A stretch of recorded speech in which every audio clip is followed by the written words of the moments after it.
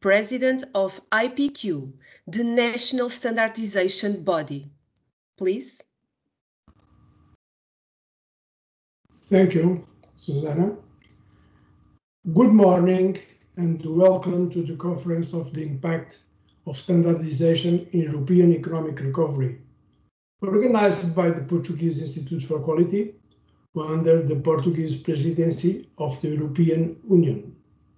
First of all, I would like to greet European Commissioner for the Internal Market, Thierry Breton, and the Minister of the State of the Economy and Digital Transition, Pedro Siza Vieira. I also want to thank the presence of all the guests and speakers that you are pleased to have with us and the participants who joined us on this day.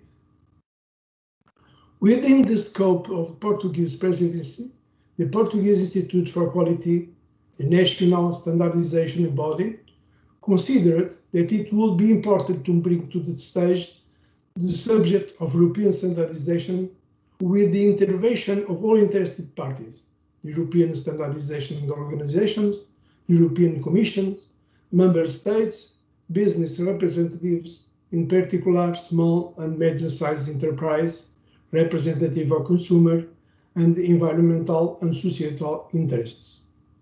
There are, in fact, a set of issues that are still relevant to discuss. Namely, what advantage does standard continue to bring to the competitiveness of European and its company? What is the future of standardization and harmonized standard within the European internal market? How can standardization support the European industry strategy and help lay the groundwork for a modern and more sustainable Europe? We think that this event is therefore important and fundamental as a space to reflect together and to find common ways. In Portugal, you are aware to the competitive advantage and opportunity for the growth and level development that standardization provides to economic and social agents. The Portuguese Institute for Quality, together with this network of 54 sectorial standardization organizations, have been working to include a growing number of Portuguese companies and associations in the work of standardization. We have been also helping the integration of experts and researchers in the work of drafting European and international standards. On the other hand, we have been constantly informing our government leaders and public bodies for the need to work together. But we are also, with our eyes on the future, committed to renewing our own national strategy for standardization in alignment with the CEN-CENELEC strategy. So we want to make the standards generally used, to have the national organization and experts participating more actively in the standardization work, to digitize the standardization activity, ensuring its efficiency and quality. These are our goals.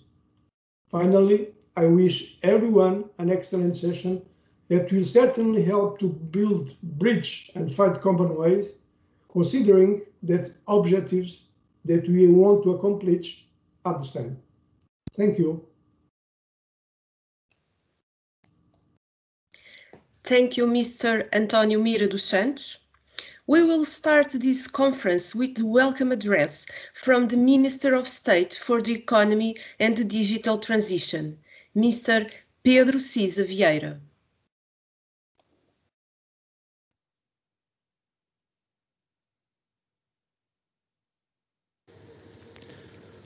I would like to greet Commissioner Thierry Le Breton and thank him for his participation in this conference.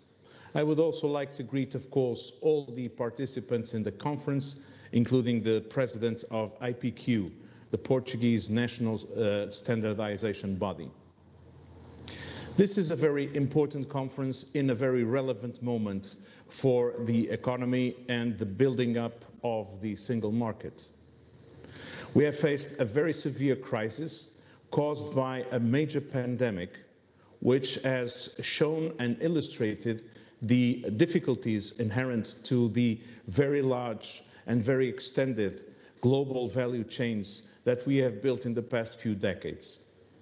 Whilst they have uh, allowed for a very significant efficiency of the global economy, they have also illustrated how dependent we are in respect of very uh, fragile moments when a disruption may occur in those value chains, whether by reason of a pandemic, but also a uh, terrorist attack, any disruption in the, uh, the transportation uh, systems, and all those put at risk the way our companies, the way our citizens are living uh, normally. So we are reviewing the uh, industrial strategy. We are identifying the need for redundancies and building up a more resilient uh, European economy. A very significant topic of that is the ability to have uh, a single market which offers to our Uh, companies, to our firms, the ability to work seamlessly across the European Union. Standardization is critical for this effect. We can only ensure that each of the companies in Europe, whether large or small, can enjoy the opportunities raised by a market of 450 million inhabitants if we are able to uh, ensure that each product delivered and produced in any point of Europe or the world can freely access and reach all the consumers in this very wide market. This is the role of standardization. And I must say that behind the scenes, where no one very much is paying attention, the work that the European Union and the bodies for standardization have ensured in these last decades have been critical to the level of progress, prosperity, and growth of productivity that has been enjoyed by European citizens and companies alike. We must progress those uh, works. The work that CEN, CENELEC, ETSI have been developing uh, in these past few days and, and will be uh, doing in this, uh, this conference is really uh, relevant. And the involvement of industry and inclusion according to due process are essential to ensure that standardization continues to be uh, of quality and relevant for the markets. And this balance is very important to ensure that we can make continued progress in the next future. The delivery of uh, regulations which support legislation must be accompanied by uh, the uh, references to the rules in the official journal. Today, we have an excellent opportunity to discuss the importance of standardization and its implementation by bringing together the regulatory bodies, the standardization bodies, and the relevant stakeholders within the industry. This will be a major contribution to the discussion of how the, an effective standardization in the EU is crucial to ensure the competitiveness of our industry. Thank you very much for your participation and have a very good work on the course of the day.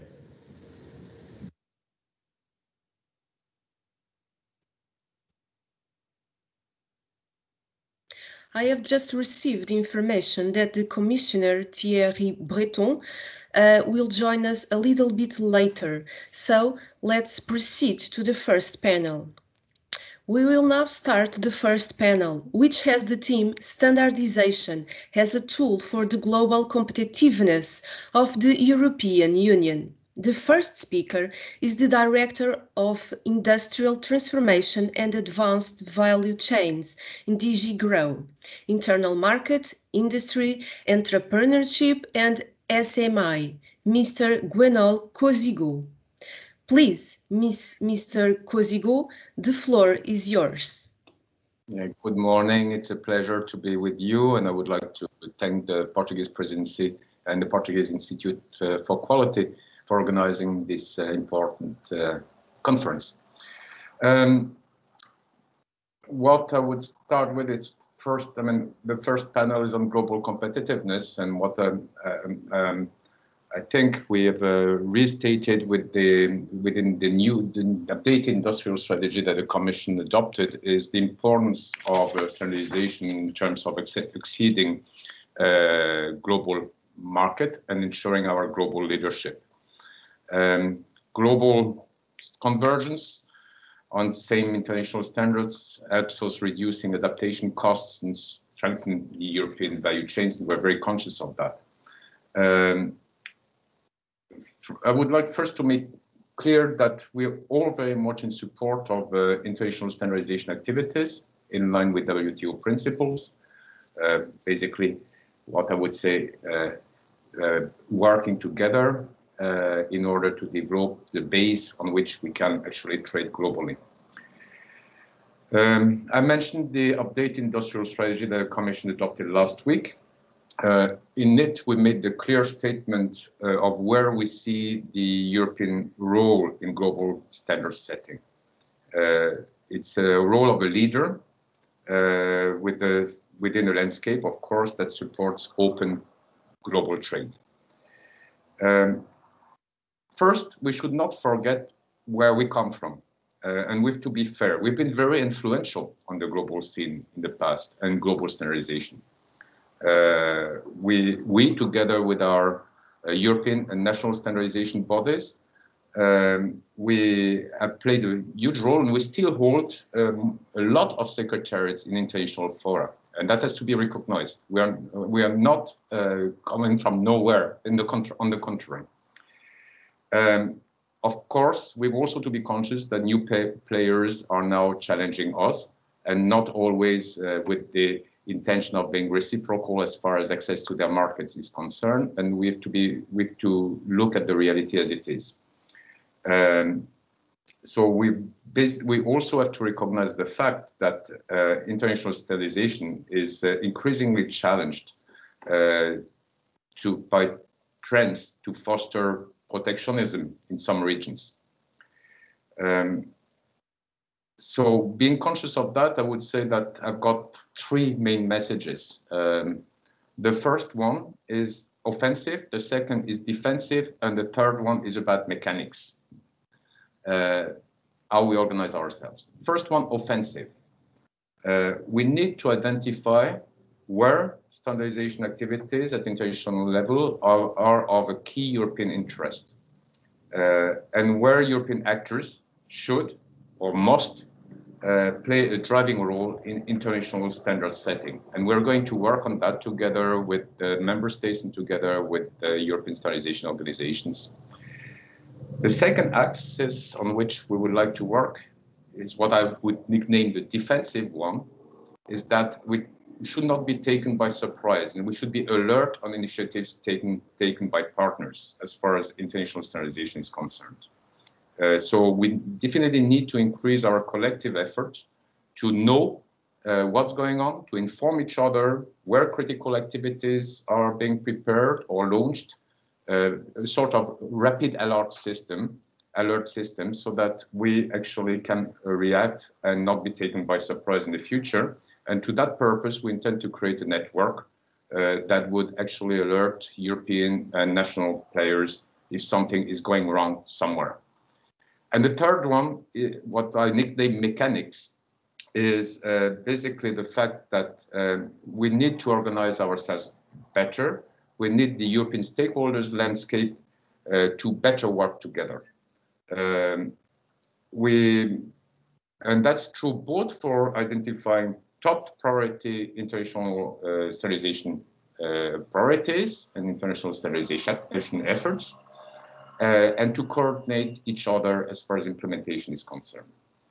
So this implies, of course, European standardization organizations. I see that Elena Santiago Cid is with us, so I mean she knows what I'm talking about because we've already got the opportunity to discuss that. Um, this also implies uh, national standardization bodies, Uh, but it also implies, of course, civil society stakeholders, member states. I mean, policy and, standardiza and standardization uh, must play hand in hand if we want if we want to basically play a bigger role. So I would say offensive, defensive, and what I call mechanics. Thank you.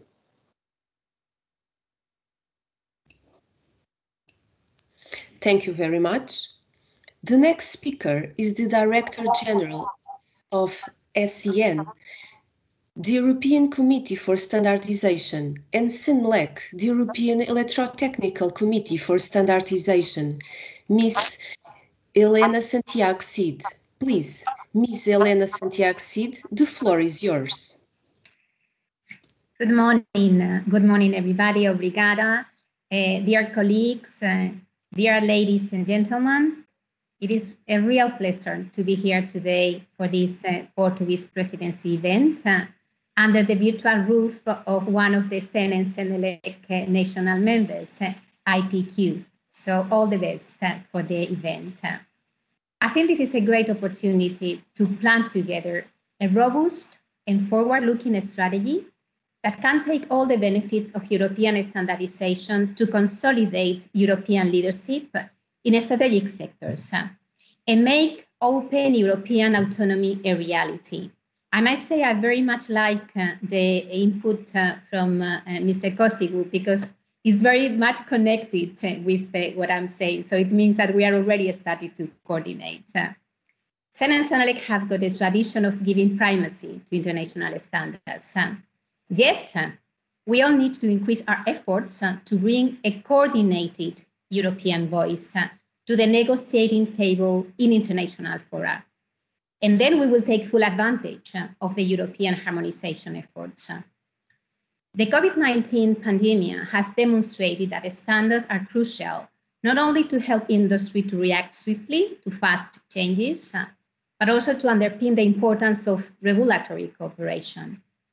Standards have been a common language in Europe and beyond, securing supply chain by supporting the urgently needed adaptation to alternative and fast production lines uh, without hampering essential requirements uh, hence protecting professionals and citizens. Uh.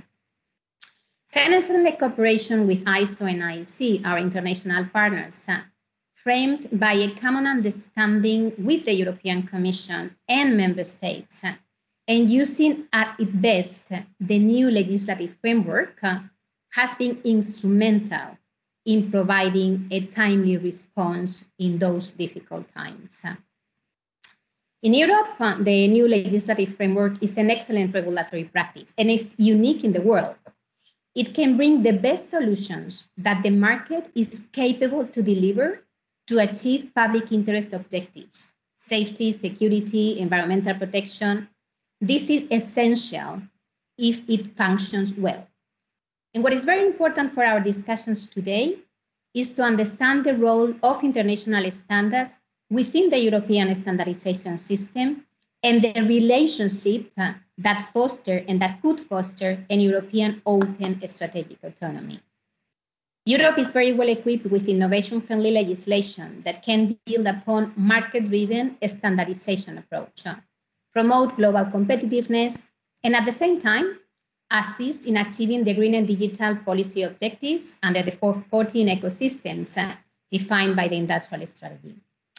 But what do we need to do in order to see Europe uh, ready to showcase leadership and global competitiveness? I would like to start giving my input and ideas uh, on this strategy plan that I have devised at the beginning. We need a common framework, we need coordinated positions, uh, and we need digitally ready standards and legislation. Common framework. Uh, working together with a common framework for terminology, safety levels, testing and measurement uh, that apply in the same way for market operators, standardizers, and policymakers uh, provide management confidence. Uh, and that will help to rely on innovative solutions uh, since will provide and provides legal certainty and predictability. This implies, on one hand, uh, to put European standardization effort to serve the international standardization developments uh, through ISO and IEC, And on the other hand, to accept technical content, uh, if in line with legislation, of course, uh, resulting from the consensus building process at international level. Setting international standards with the relevant European policy and regulatory requirements from conception, from the very beginning, will certainly support global competitiveness and at the same time will strengthen the single market. As you know, CEN and standards are adopted in 34 countries and national conflicting standards are withdrawn. But industry and societal stakeholders need to see return on investment. Standardization, to engage in standardization sometimes can be hard if they don't see the benefit for that. And we need them to be fully engaged in this strategic plan and to continue building on the public-private partnership that constitute the pillar of the European standardization model. Second input, coordinated positions. Technical standard setting, even if sometimes underrated, have been highlighted in the European industrial strategy, and I'm very pleased with that. It is an important dimension of the EU strategy to save globalization. And this calls for a coordinated position not only the European standardization actors, the European standards bodies, the national standards bodies, industry, societal, member states, and the EC need also to join us in this coordinated uh, position towards international standardization and SDOs, where standardization is really at stake. It, it is not implicitly mentioned in the EC communication for the trade policy review from last February, but my understanding, and I fully encourage that, is that trade policy, together with the renewed industrial strategy and the incoming standardization strategy, is an excellent opportunity to establish coordinated structural solutions involving and understanding the role of standardization to achieve the core trade and industry policy objectives, eh, which are three, to my understanding supporting the recovery, and the fundamental transformation of the EU recovery, which is green and digital objectives, eh, shaping global standards eh, for a more sustainable and fairer globalization, and increasing the EU capacity to pursue its interests. The international landscape is very blurred. We have significant tensions in the WTO. Some regions of the world have understood the role of technical standardization for global competition and are exploiting those opportunities. I would just like to mention China as an example, but there are other cases, and each one deserves a business case. China has intensified its attempts to use standardization for the promotion of its international influence and use international standardization bodies like ISO and, and IEC. In the last years, they have significantly increased the secretariats and chairmanships in both organizations in strategic areas, e-commerce, for instance, or smart grid user interfaces. These are initiatives that are currently being led by Chinese stakeholders. But also they are using One Belt, One Road initiative uh, as an instrument to set standards outside the ISO and IEC so that they can reshape the, the, the order of the technical standardization. Considering the CEN experience uh, and a very fluid communication with business actors, uh, our Strategy 2030 elaborates on concentrating European standardization efforts in the development of ISO and IEC standards and engaging our international partners to commit to the same approach, uh, to focus efforts in creating technical solutions that respond simultaneously to European policy objectives and provide wide market access. This will only succeed if all the drivers move in the same direction.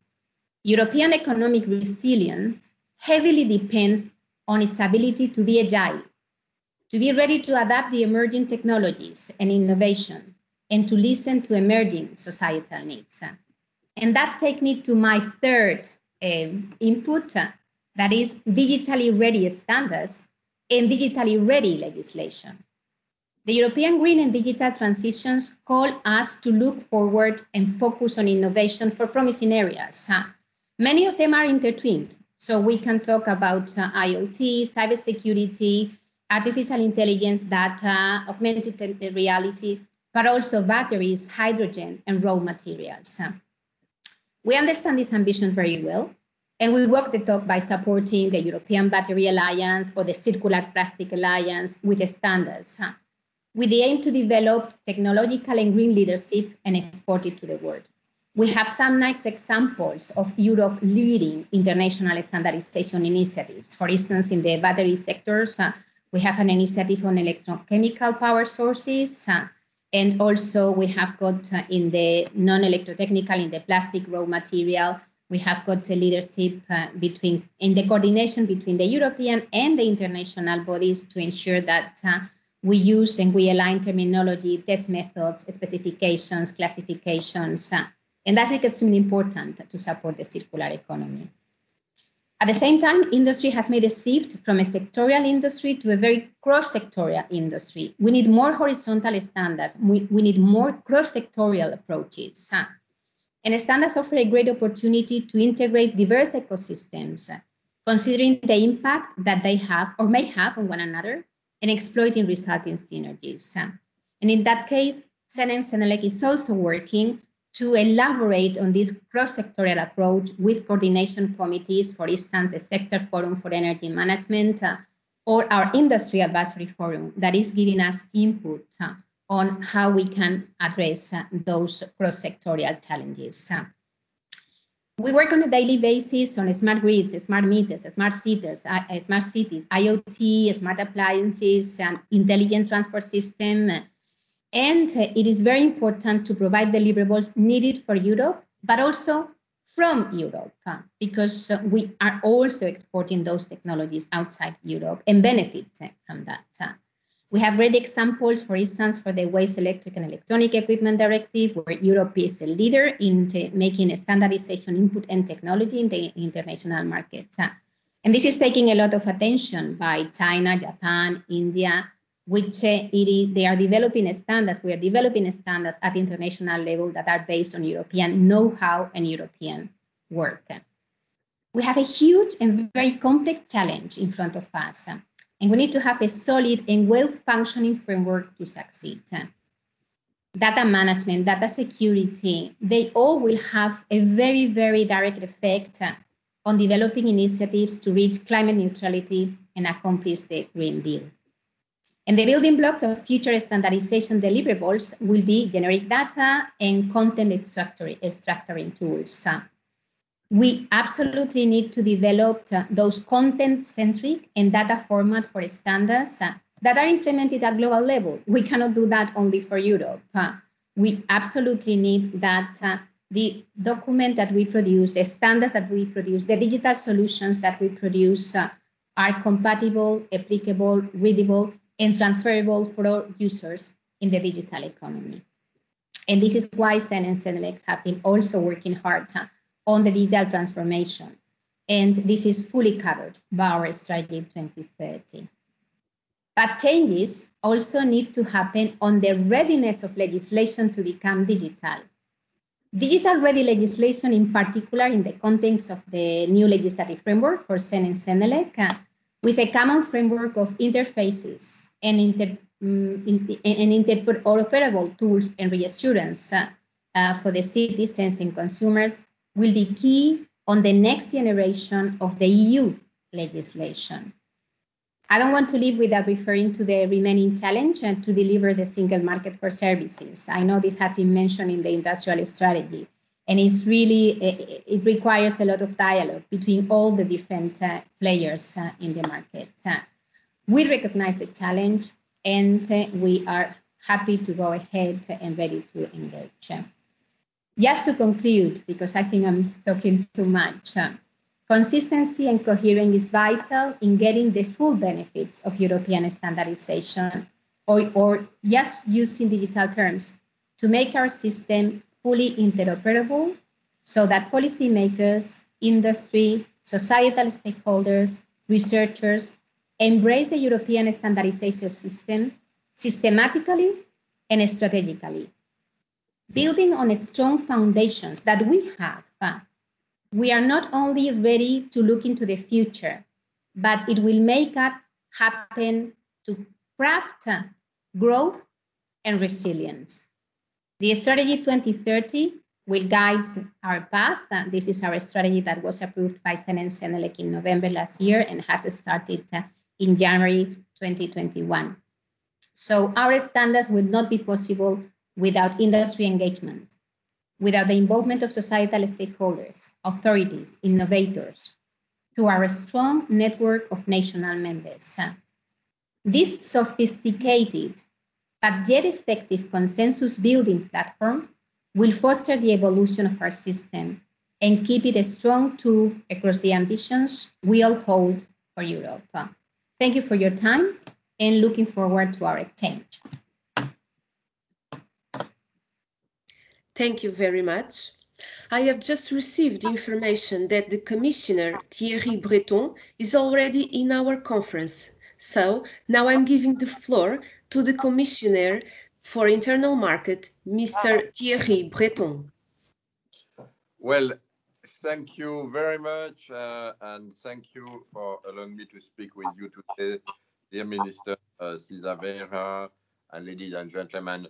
So I'm, I'm really delighted to be able to, uh, to attend this conference, uh, and of course, even more on standardization, uh, which is, of course, uh, becoming, uh, let me tell you this at the beginning, a very, very important, let's say, battle that we will have to cope with for our industry in the years to come. And of course, this, is starting now, but I will come back in a few minutes on this.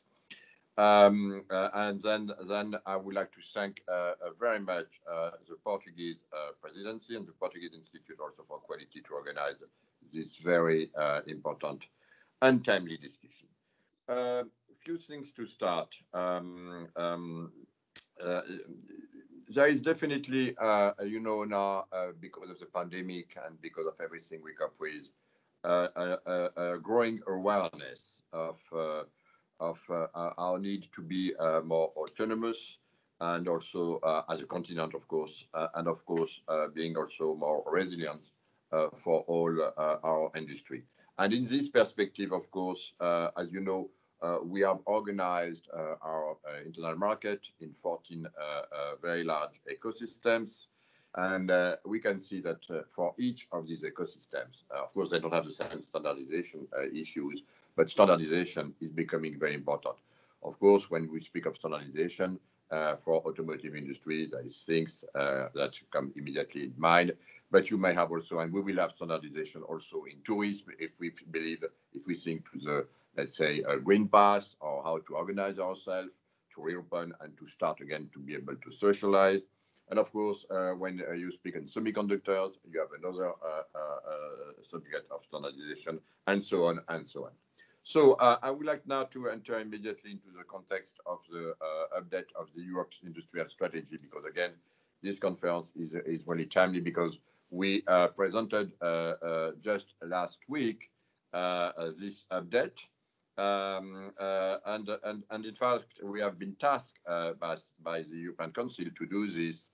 And I think it was a very good initiative because, of course, um, it came it just one year after the industrial strategy that has been presented uh, uh, in March uh, last year, and of course, uh, uh, it was very important for us uh, to draw the lessons of the COVID-19 crisis, and also to put ourselves, uh, let's be honest, uh, in the perspective of uh, a recovery, how to organize our continent in this recovery, because yes, I could tell you as being also, uh, as you know, uh, uh, head of the EU task force for the vaccine, that because of the unbelievable effort that we have achieved and, and, and achievement, we will be able to vaccine as early as mid-July 70% of our population has the vaccines to do this. It's in the hands of the member states. And of course, um, uh, we can now uh, start to think of uh, the after crisis, even if, even if we will have to live, of course, with uh, with the virus and to organize ourselves. But now we know how to, let's say, to do it and not to penalize uh, our uh, economy as, and also our, our, our, social impact as it has uh, been the case over the past the past year.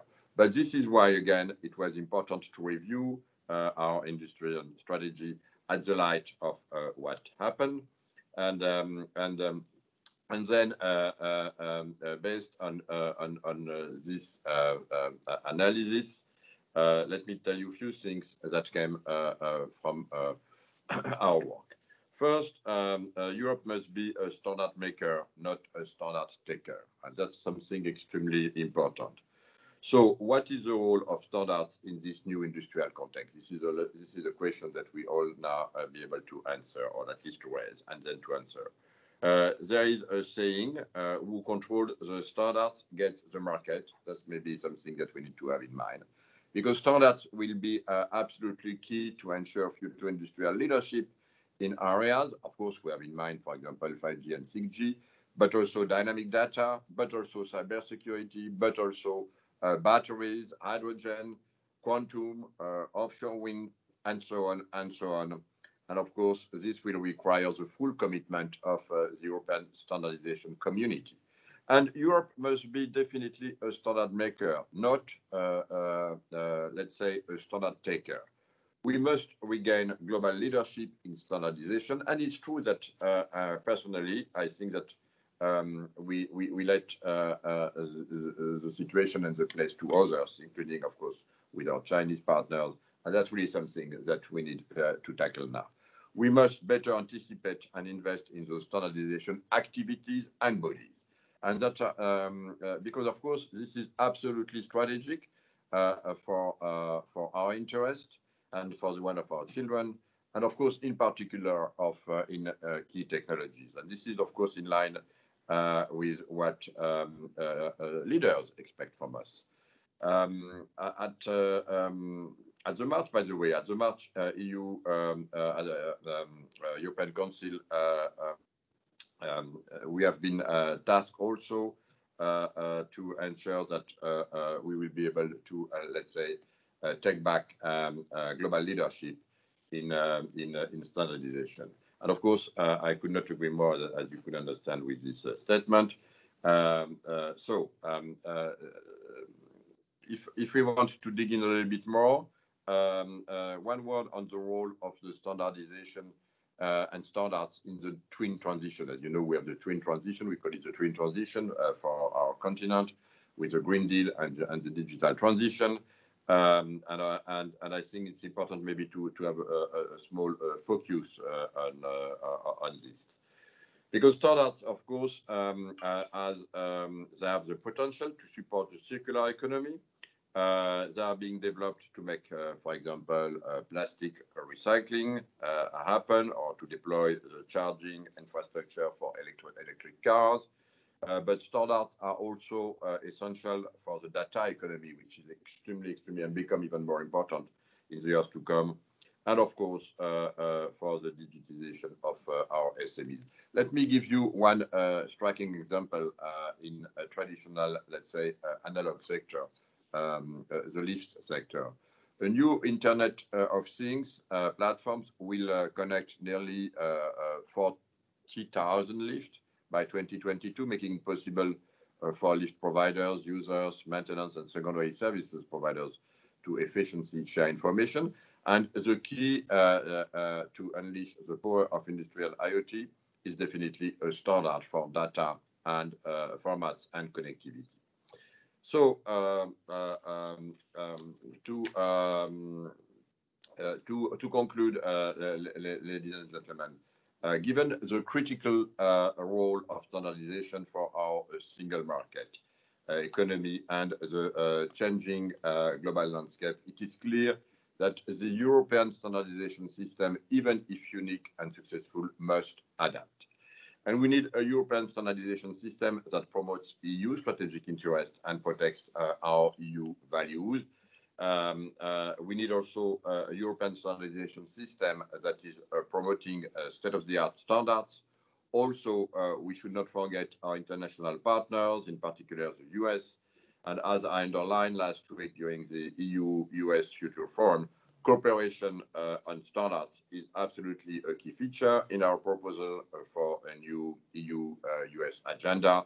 And above all, we need all European stakeholders, the Commission, the EU member states, the industry and civil society organizations, to be, of course, definitely on board. And this is why the Commission decided last week uh, industrial um, um, strategy update to commit uh, to a standardization strategy by the third quarter uh, of this this very year. So we had, of course, as I said, no time to lose and um, and I would like uh, to um, uh, to wish you, uh, um, of course, a, a very successful e event, and and reiterate the fact that um, you could count on on on us to be to be active, but of course all together. Thank you. Thank you very much. Our next speaker is Rupert Schlegelmilch, Acting Deputy Director from uh, General uh, DG Trade. Thank you. Thank you very much. And I'm very pleased to be here and to follow up on uh, Commissioner Breton's words because it's, as he said very well, it's a task or working on standards which starts at home but has a competitiveness edge in the world. And when I was preparing for this presentation, I also talked to my chief economist, and he told me that standardization actually adds to growth up to 1% in some of the European economies. There are some studies on France and Germany, just by diffusing the knowledge and making it easier for companies uh, to work and produce, there is actually a positive effect on growth. We should never forget that we do this actually in the end for our uh, prosperity and the well-being and the growth of our economies. And of course, as we have heard already, standards are crucial for international trade. Commissioner just said that who owns the standards owns the markets. And converging standards also help reduce costs for traders, improve the safety, enable inter uh, interoperability Uh, across manufacturers and countries. So as we try to open the markets and support market-based competition, we also have to be aware if we don't do that, we actually create trade barriers, costly trade barriers and standards. That's one of the things that we have in the trade world. Standards are the new tariffs if you don't get it right.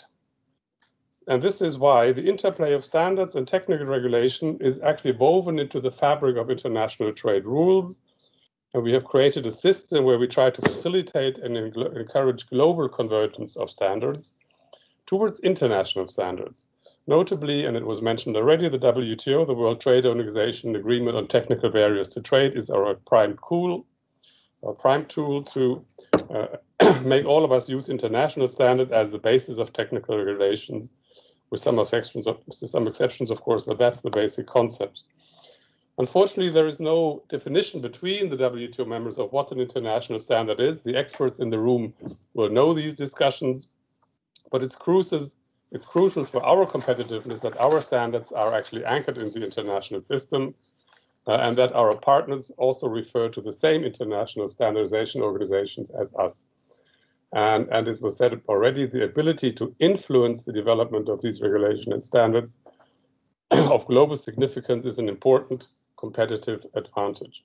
So having a standard strategy and making sure that we actually do this becomes more and more important because we already heard as well, for decades, the EU was in the driving seat here. We were a leader on the front and championed work of the International Standard Settings Organization as ISO, etc., and and the sector-specific ones. But these successes are not a guarantee for success in the future. Uh, and there is more competition coming up. But we are using, for example, our free trade agreements. There we give a lot of importance of ensuring that our partners on free trade agreements commit to shaping their domestic regulation on the basis of what we in the EU think are real international standards so these agreements are part of what we do to promote standards as the IS, ISO, IEC, ITU, and the sectoral standards in pharma, automotive. We even have dedicated annexes in many free trade agreements which spell out exactly how you should go about so that pharmaceuticals or wine or whatever standards uh, are aligned and compatible with our free trade partners. But obviously the world is in constant flux And our relative weight, we have to face that, is shrinking in the world, given the emergence of new regulatory powers, which are also trying to get some skin into the game. And the rapid technological development, which was mentioned, is also sometimes happening outside of the EU. So we have to do what we can to influence these emerging areas. I think we just heard about already some of the efforts that are underway. So we can continue to produce and promote the standards and stay ahead of the curve in the technological innovation and our new industry needs. And this is imperative, I think, and we have recognized it in our trade policy strategy, where we have a chapter about enhancing regulatory dialogues with like-minded partners and a closer dialogue of the EU and international standards organizations. I think this will be key to maintain our influence. So there is a need for all the people who are in this conference or in the room to work together and support each other more effectively uh, between the regulatory, the standardization, and the trade community to make our objectives reality. And we are actually in the process now of identifying with the colleagues uh, in the organizations with DG GROW how we can be more effectively uh, how we can be more effective in implementing this, how we can have stronger synergies between the international regulatory cooperation activities that Gwen and others talked about of the Commission and the European standardization bodies. This is not entirely new, as you know. This we've done this for a while. We have a history of cooperation with the standardization organizations of in, in Europe and the partner countries but we also realize that doing this and negotiating the agreement is maybe not enough. So we opened another, I think, discussion about, about the implementation of what we are doing. Uh, we have, as I said, good text in many agreements in the WTO, but we also have to, be, I think, be stronger uh, in order to actually make sure that all these norms, texts, and agreements actually work in our interests. So we are actually paying special attention to implementation and hold our partners, I think, more accountable also when they diverge on standard setting activities. Now, the trade policy review also puts a lot of emphasis on the green and the digital transition, and we already heard quite a lot about digital services, standardization, and these issues. So those are actually the standards of the future, and those will actually determine much of the competitiveness of Europe and European traders in the future. And these new and emerging areas have one advantage. You can work together with partners uh, sometimes more easily if you actually don't already have an existing standard system. We all remember how difficult it is, for example, and now I'm starting to talk about the United States, which is one of our key partners, how difficult it has been in the past to try to align or harmonize or, or have equivalence on some of the existing standards. Uh, and the key now that we have identified is not only to keep on working on this, it's good work, it needs to be done, but also to put a lot of focus on the uh, on those areas which are emerging where the uh, the standardization activities have not already led to a certain result. The engagement with the United States on future standards, notably in the digital sphere, and maybe also having a better structure to work together on common approaches, some of the key topics that we are now actually, as we speak, developing. You will have seen the work on artificial intelligence in the EU. There is a similar process led by the NIST, by the National Institute of Standardization and Technology in the US.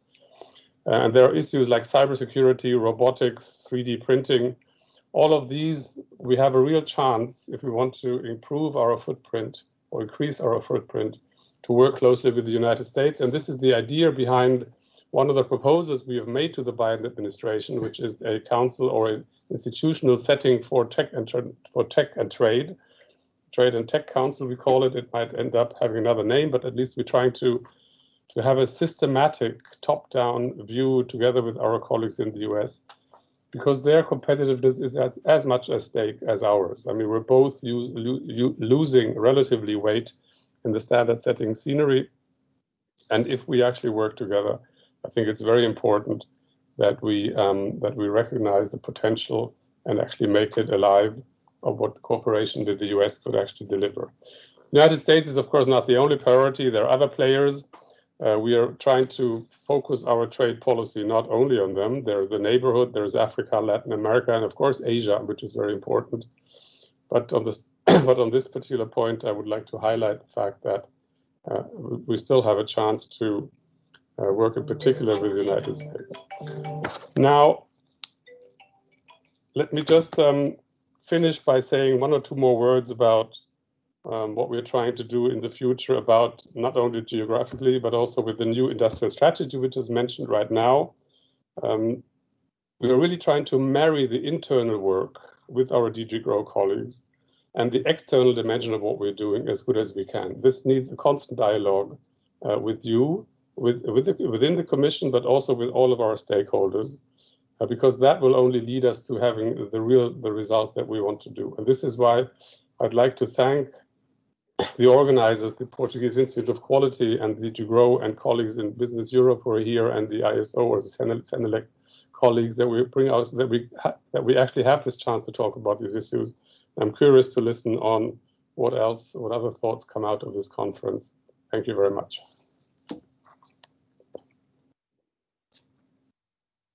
Thank you very much. Now I'm giving the floor to Mr. Luis Jorge Romero, Director General of ETSI, the European Telecommunications Standards Institute.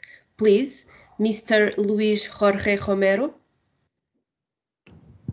Uh, thank you very much. And uh, thank you very much for having me here today. I'm, uh, I welcome this initiative uh, from the Portuguese presidency and also from uh, IPQ to set up this conference. I'm, I would like to, to show you, and I'll, I'll, let's try if uh, technology works, a few slides that will I will run through to set a little bit the scene and, and look at uh, what we're trying to do as, as ETSI and, and how ETSI is, is trying to uh, work together with all the institutions and uh, and, and make it uh, make it happen. Um, seems uh, my slides are not coming yet. I'm just talking to the air. Now here they are. So indeed, I think I think several speakers today have already pointed at the relevance of standards for competitiveness in the European Union. Uh, I think that um, from ETSI, uh, we've we've talked here about uh, the importance of industry, the, the, importance of all stakeholders. I would like to highlight here very much how much we believe that both the EC and member states are essential in the well functioning of standardization in Europe. Indeed, the relevance of standardization, of, we believe, is even bound to accelerate as digital technologies increase their prevalence in our lives uh, we've seen that, we've heard that today.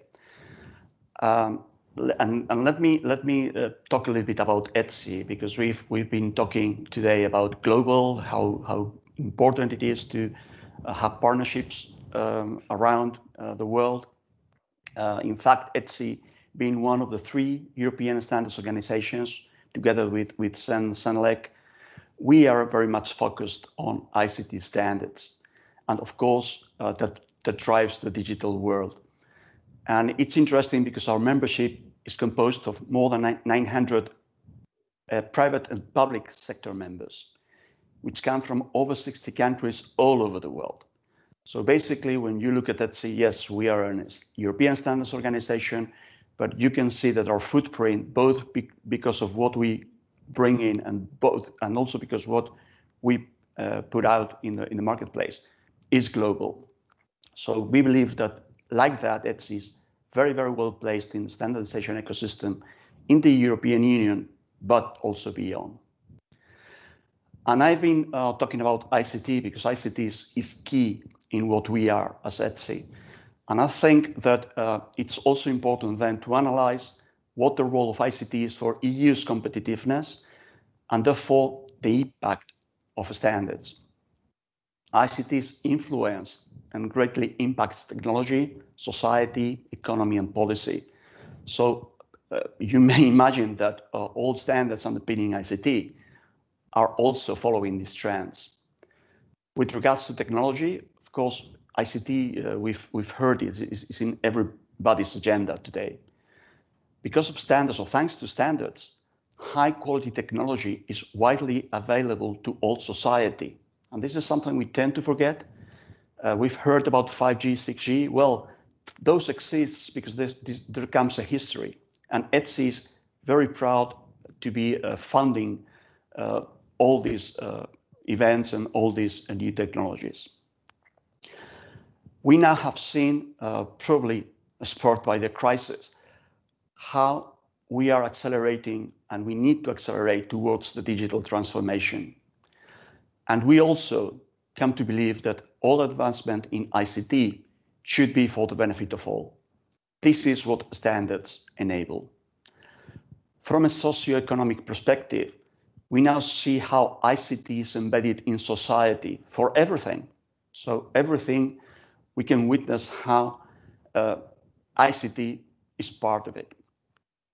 ICT is bringing an interesting dichotomy as well into people's behavior. And, and we see uh, the dichotomy of sharing versus owning, also the teamwork versus individualism.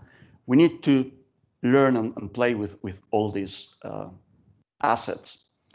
And then uh, what's also important, and, and, we've heard it today uh, several times, that the number of actors impact, impacted and participating in ICT has increased exponentially. So this will bring to us that uh, there's a real need to increase ICT literacy or, or education and skills in all the population.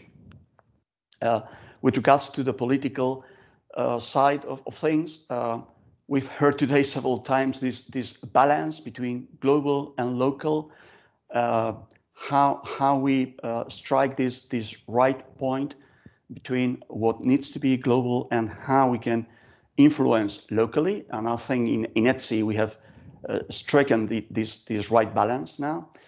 And also we are getting more and more conscious of the environment and sustainability is one of the key dimensions where we need to, to focus on and strive.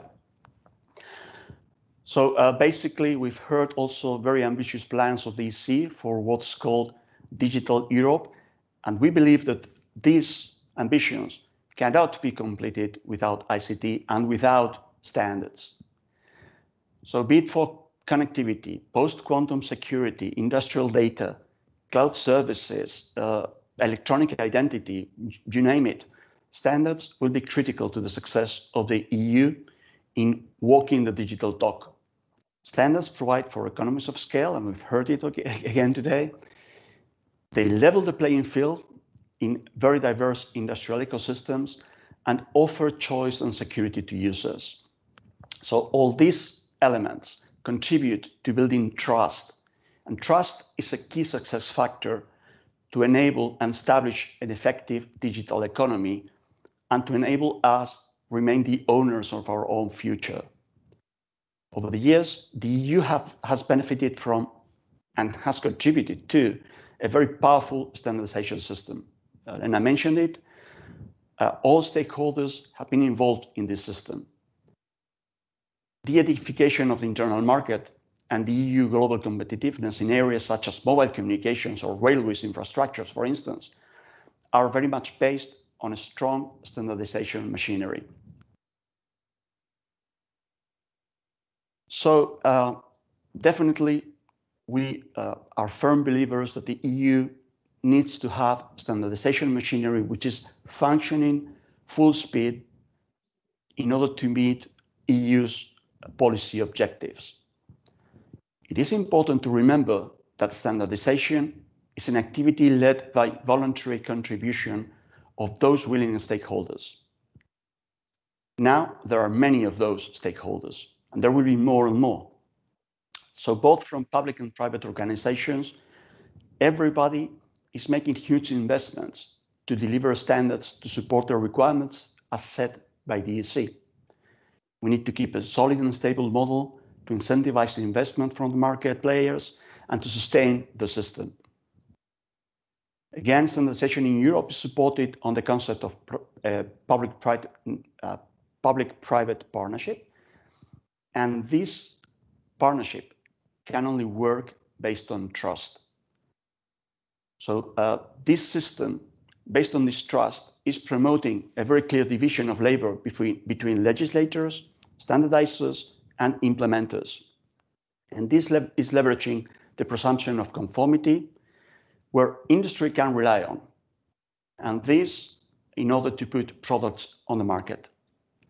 The system, again, has allowed the EU to produce in a very short time frame standards needed to support the, the internal market legislation, some of which made it big on global markets. And we have uh, good examples with all the generations of, of mobile communications. And, they are, and those are giving the EU the corresponding points of competitivity. We need to remain and maintain these principles. Of course, standards are not an, stand, an exact science, and we are uh, bound by uh, external factors like economy, health, geopolitics, you name it. But uh, impact the system, those impact the system, and of course, there's no uh, silver bullet to make it perfect. But uh, we still believe that we are living in a strong system that has proven its value through the years. And if there's room for improvement, as, as there is always, we need to work out solutions to improve this system collaboratively. Now, uh, this model uh, will be at stake if we fail to follow this uh, cooperation uh, mood.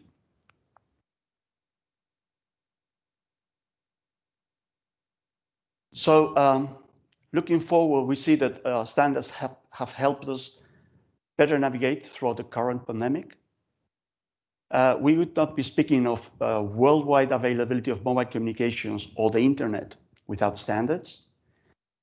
And we may be taking those as a given, but uh, I think we all realize that there's a strong long-term investment and effort to have made those possible. And a lot of, of that investment has been put through standards at the very beginning.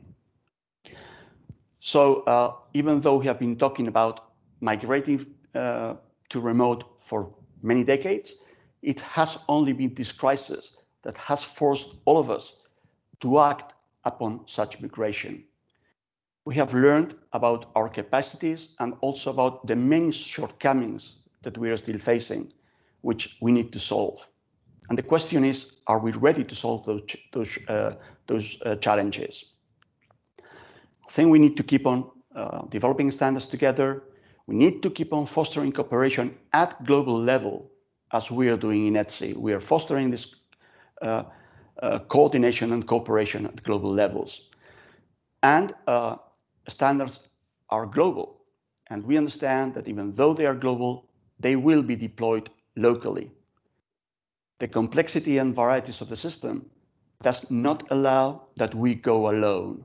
We need global cooperation and partnership, and standards are a very important way to enable our economies to develop in a cooperative manner.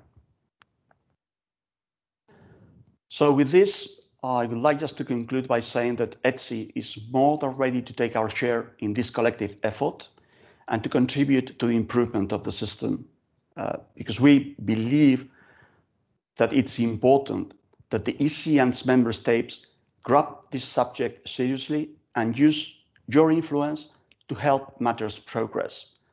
There's a need to have a strong and functional standardization system if we want to be digitally sovereign. With this, uh, I would like to close uh, my speech and hand over back to the uh, organizers. Thank you very much. Thank you very much.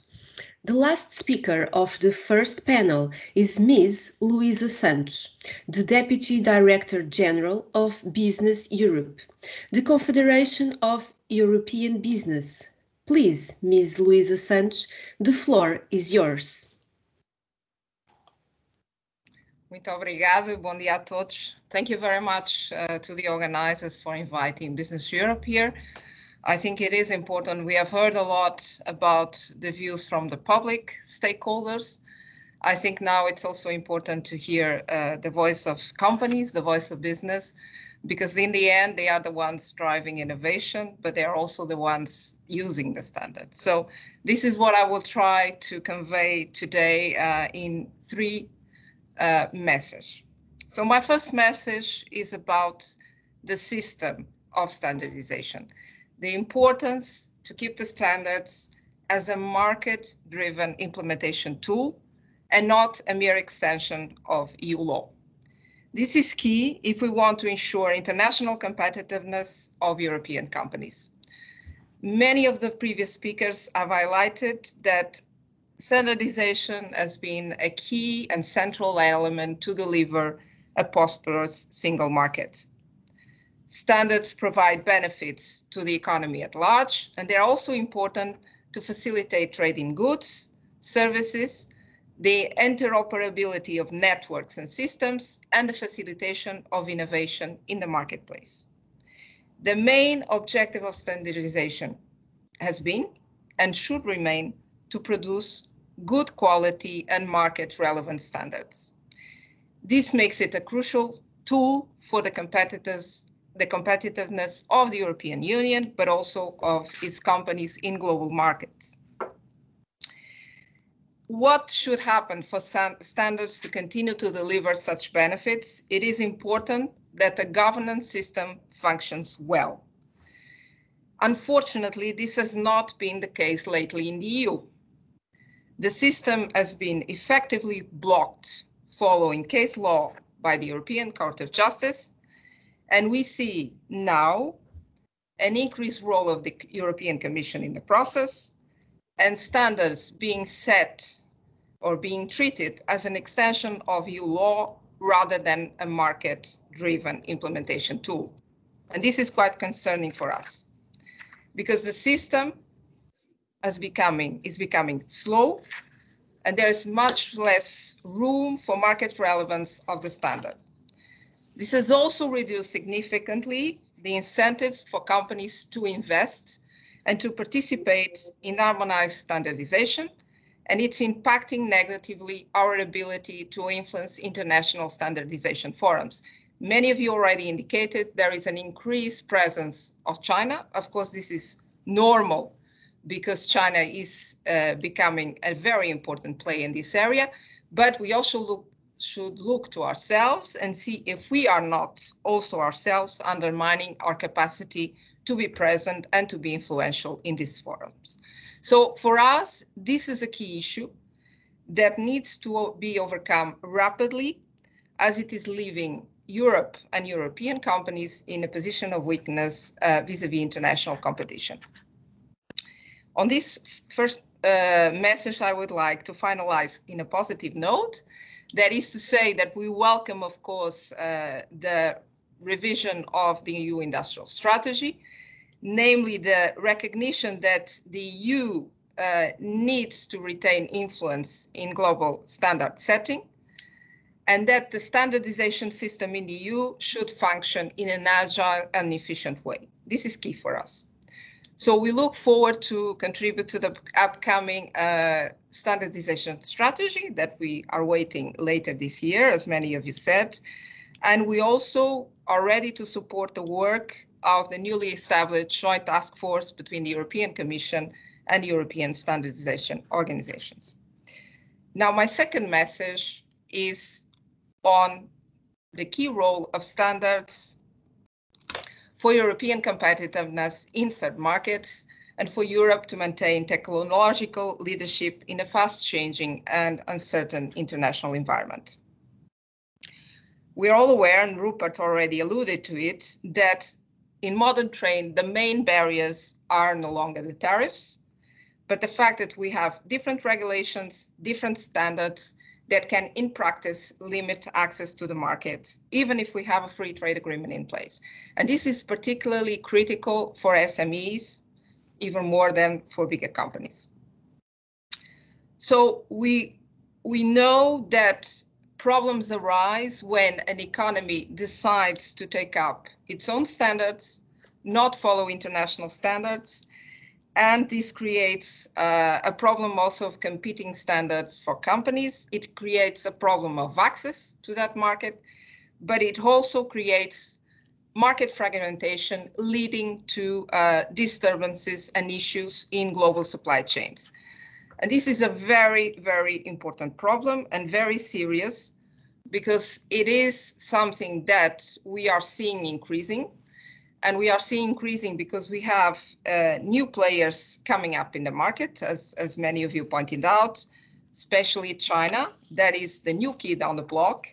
Uh, we used to have basically a competition between the US and the EU, but China is indeed very much driving, driving the seat now because of its very assertive policy, uh, because China is linking very much the standardization to its industrial strategy that is normally uh, known as the five-year plan, integrated in the five-year plan. And the fact that, of course, it is a strategy driven by the government, by the central government, with very clear objectives and supported many times by a very big role of state-owned enterprises. So this is giving China edge in many areas, and many of you, the previous speakers already mentioned the new areas, the digital areas, the new technology areas. This is where we see China taking the lead. These are the areas where we have less standards, where we have less regulations, and this is the area where China is taking advantage and trying to influence standard setting worldwide by also promoting its own, as many of you, and I think Elena mentioned the Belt and Road Initiative. Clearly, it's one of the tools China is also using to promote its standards. My third message and final is to highlight the importance of cooperation on standards with our key trading partners and the need to include also this important point in all EU trade agreements. Rupert already mentioned it. Um, our big cooperation has always been with the US. I mean, this has been very much at the heart of TTIP while we were negotiating the transatlantic trade and partnership agreement with the US. We had some positive elements of that partnership. We had in the area of pharmaceuticals, for instance, but we think we can still do more in other areas. Uh, there's still a case for it in automotive, uh, but also in the new and digital area on chemicals, on traditional textiles uh, sectors, for instance. So this is something we need to promote. Um, and we're also very much looking forward to uh, the new possibilities of cooperation with the US through the Trade and Technology Council or whatever uh, body we decide to, to create. But it's clear that we should continue to work closely with US, even if it's not easy because the US has its own uh, uh, interpretation of what an international standard is. But it is important that indeed we try to find uh, cooperation and alignment, if, for, if possible, between regulations, but also between standards, because this is key, is key for companies to ensure that we have less costs in accessing markets and that we also have more um, possibilities to increase our market share.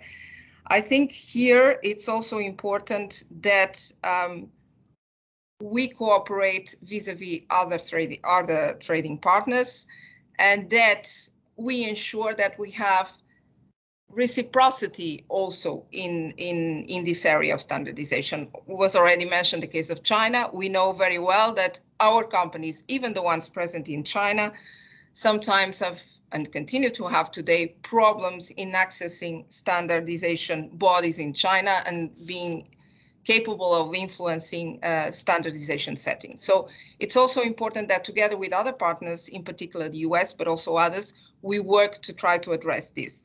And our trade agreements are also key.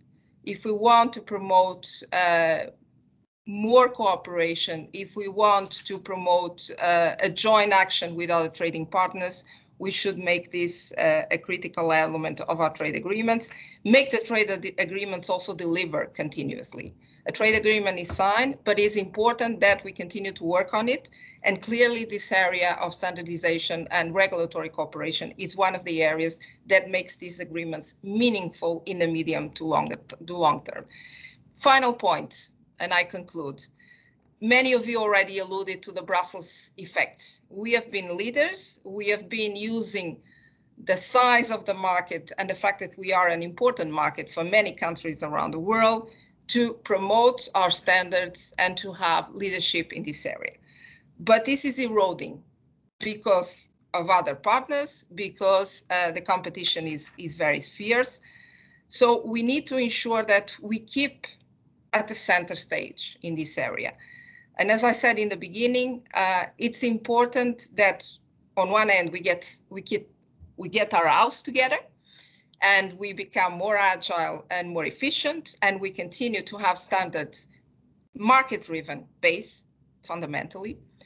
And uh, we also need to ensure uh, that internationally we leverage our weight and we work together with other partners to ensure that we keep also this possibility of influencing uh, standard international standardization bodies. Thank you very much.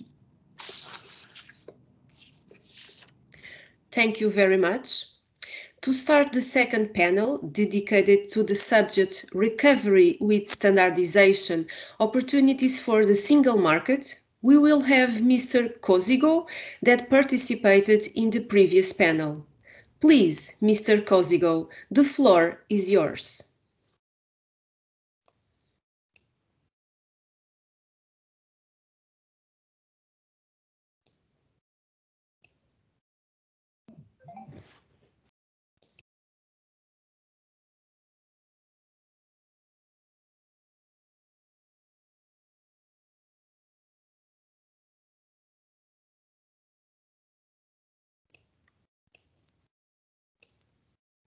I believe Mr. Cozigou is experiencing some difficult problems.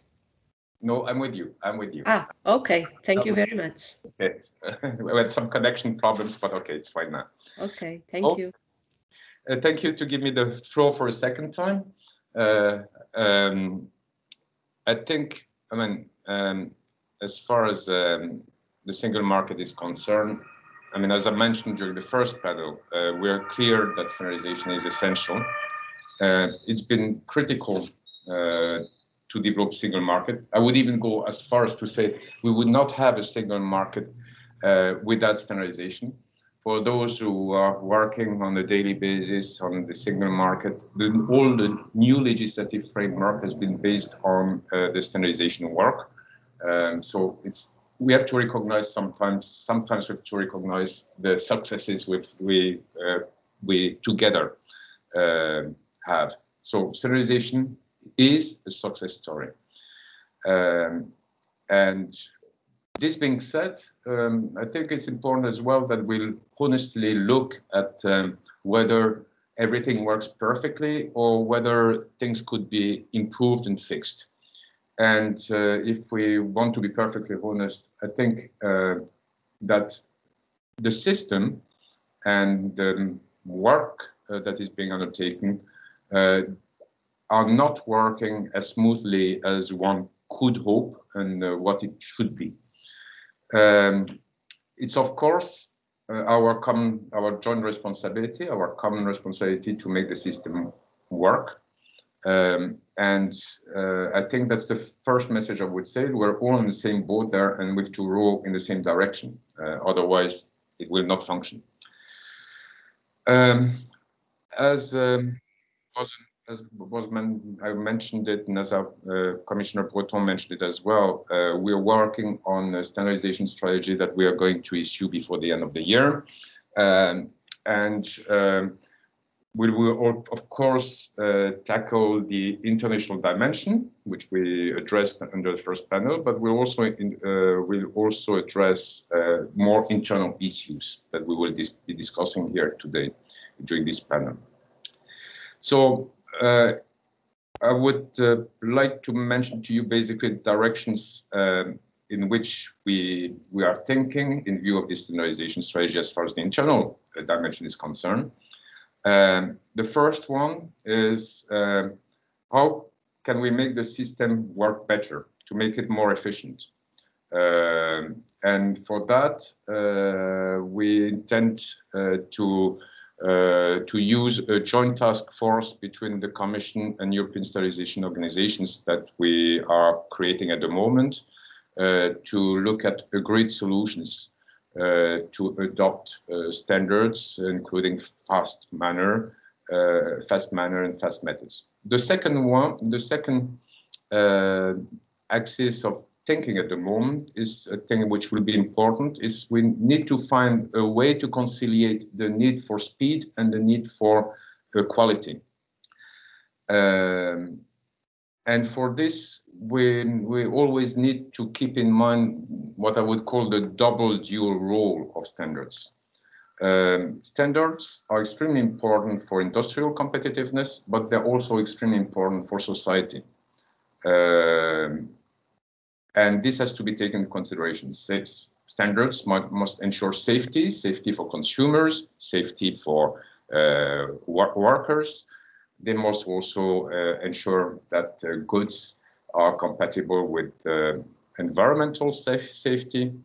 And sometimes here the interests in the in our public private partnership does not automatically square. So we have to look at that.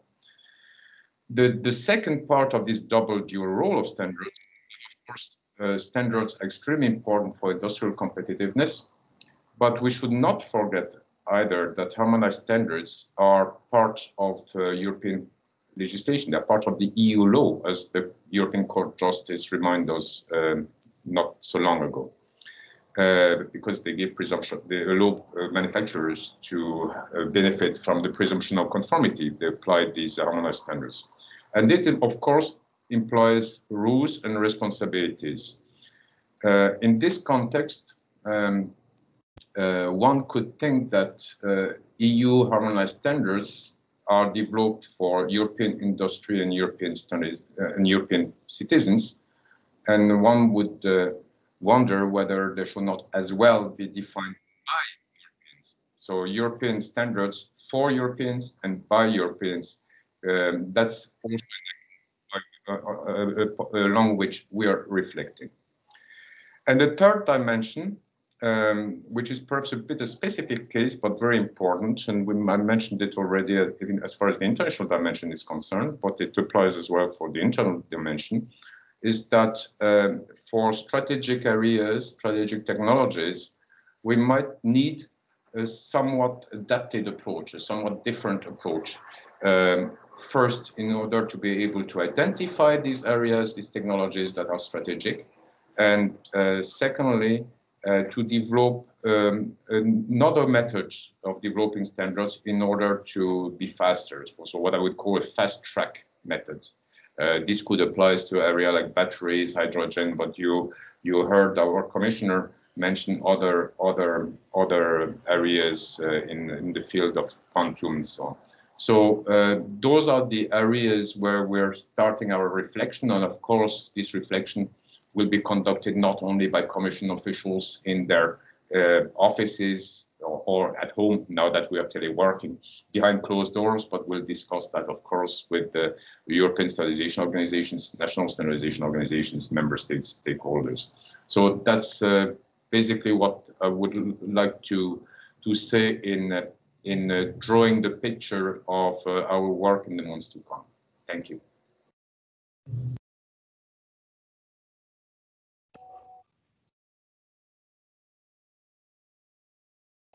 Thank you very much. Our next speaker is Ms. Neviana Nikoloski, Chair of ETSI General Assembly. Please, Mr. Mrs. Neviana Nikoloski, the floor is yours. Thank you very much. And uh, thank you to the Portuguese presidency and the IPQ for organizing this important event and for inviting me to speak about the support which standardization can provide for the recovery of Europe, and in particular, how ETSI, as one of the three European standardization organizations, together with CEN and CENELEC, can support the European economic recovery and the twin transitions. The digital transformation of our economies driven by the rapid pace of technology development, impacts all aspects of our life. The digital economy and the associated need for ICT standards are high on the political and policy agenda in every region of the world. Standardization plays a fundamental role in the digital transformation and the digitalization of our society, where technologies such as broadband connectivity, the Internet of Things, artificial intelligence, and data analytics are enablers for greater industrial efficiency and sustainability. And as 2020's global pandemic starkly illustrated, standards are also vital to enabling the rapid rollout of technologies that can support the implementation of public health measures. Why standardization is so important and what ETSI as a European standardization organization is doing in support of the European economic recovery, twin transitions and resilience building. ETSI considers freedom of action, open access to information and technology, the respect for European values and an open, fair and competitive market as cornerstones for autonomy and technological sovereignty in a globalized and interconnected world. Standards prevent lock-in and closed systems. Standards covered, they convert best practice into usual practice. They facilitate interoperability and are at the core of open technology infrastructures, which allow everyone to access the technology and take precaution against control by single players.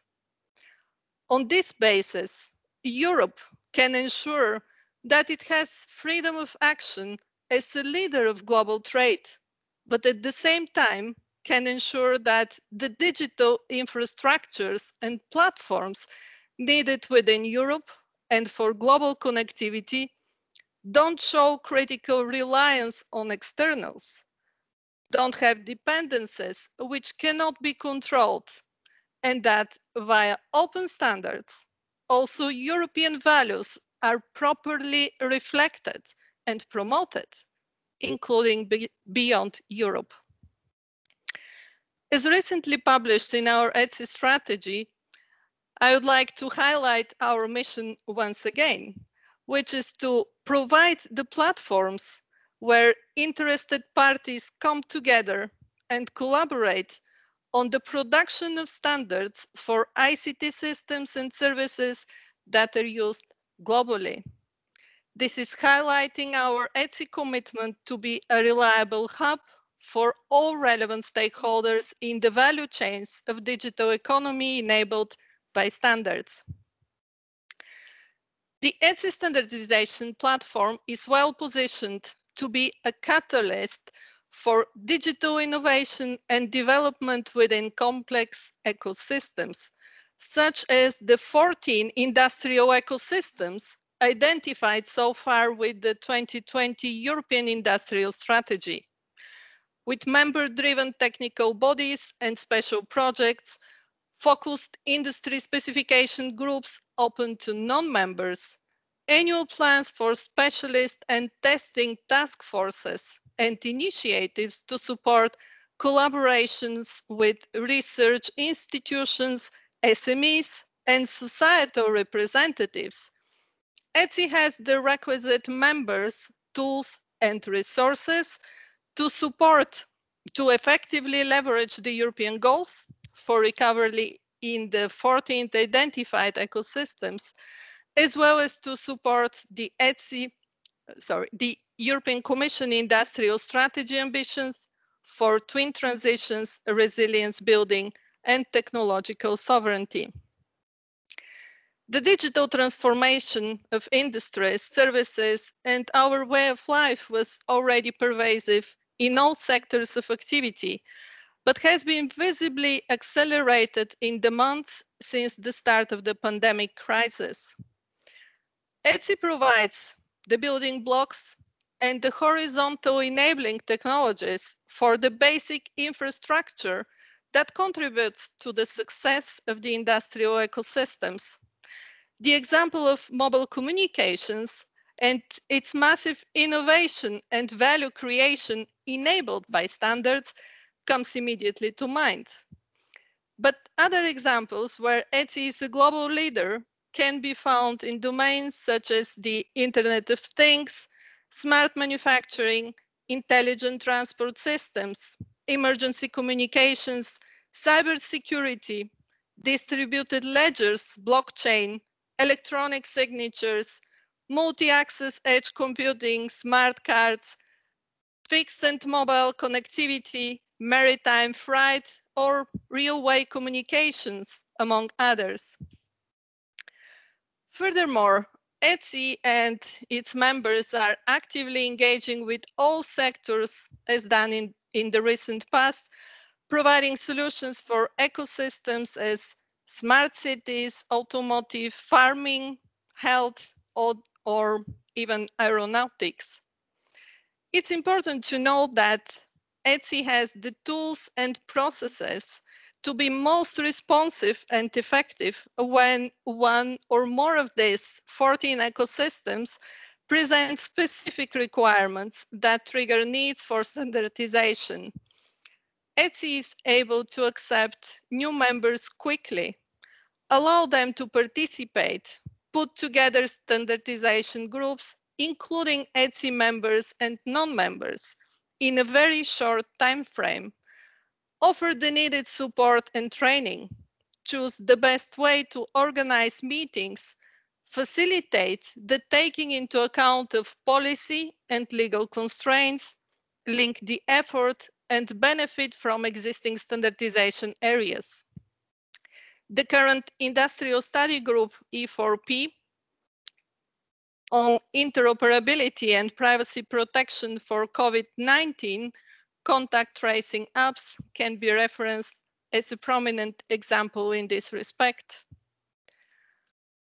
ETSI's work is driven by its members and is at the heart of the digital transition with a large and diverse community that includes administrations, consultancy, manufacturers, network operators, governmental bodies, service providers, universities, and user associations. Being a bottom-up driven organization, our members' interests and support have driven ETSI forwards in promoting low latency 5G, especially important for use cases in smart factories, automotive, and many other industries. In creating the whole industry of self-optimizing, multi-access, multi-vendor, fiber optic, and cellular digital communications, unifying the acquisition of digital data from nearly any kind of physical network through the open interfaces of oneM2M, addressing the virtualization of networks and services, automation of processes, through the use of artificial intelligence, distributed ledgers, and many more enabling concepts and technologies. Those are already huge benefits, but the further evolution and convergence of such technologies will be even more powerful. Data discovery and semantic interoperability of all that acquired data by means of appropriate interfaces and careful alignment of cross-domain ontologies. Collective massive amounts of data is only the beginning. Knowing its meaning, its provenance, its allowed usage, and securing its integrity is essential to functional data marketplaces.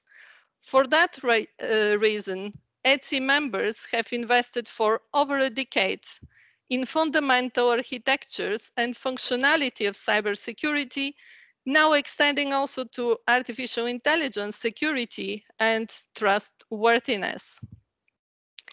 In parallel to the digital transition, we at ETSI fully support the high prioritization of the Green Deal.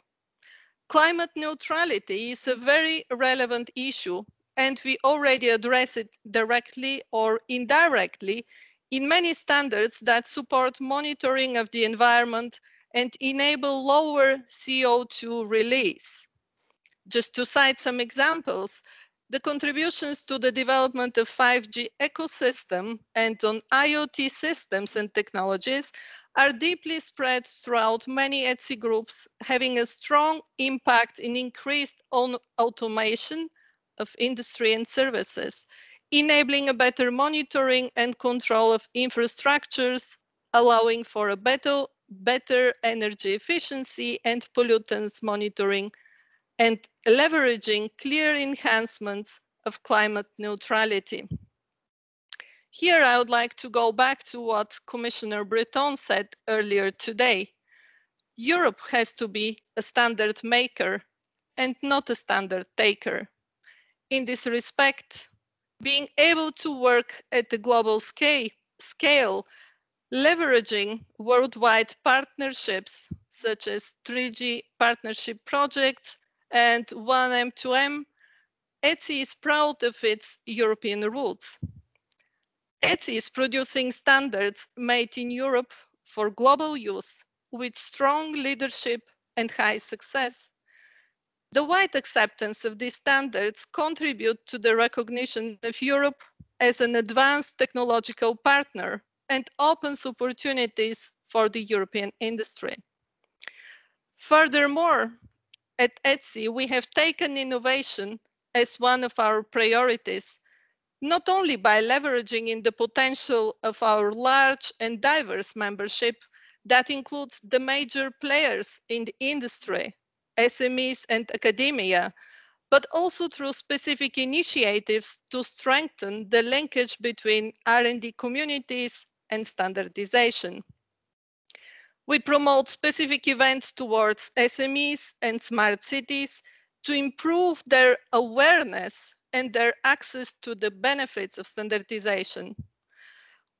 We at ETSI, we are proud that the combination of our members' fees and hard work with added support from the European Commission allows all of our specifications and guidelines to be available freely and transparently globally. ETSI is committed to attracting, retaining, and engaging all members in its work, large and small companies and research organizations, as well as other business, consumer, societal, and environmental stakeholders. It promotes the participation of SMEs and startups in standard setting as a way to boost their competitiveness and access to markets. In conclusion, there is a good and broad alignment between our standard development activities and strategy with the priorities and objectives coming from the European Commission. This provides a strong basis for prioritizing actions, strengthening the public-private partnership and collaboration on the recovery of Europe, the twin transitions, and future challenges. Thank you very much. Thank you very much. The next speaker is Mr. Stefano Calzolari. He is the CEN president-elect, but today he represents the CEN CENELEC, European Standardization Committees. Please, Mr. Calzolari. Thank you. And uh, first of all, good morning to all of you. Uh, I have prepared some uh, slides and I ask kindly the organization to put in the screen the first, if possible. Thank you very much. But uh, I begin my speech in any case, waiting for the first slide. Thank you for your invitation to this important uh, event today, hosted by the Portuguese presidency of the Council.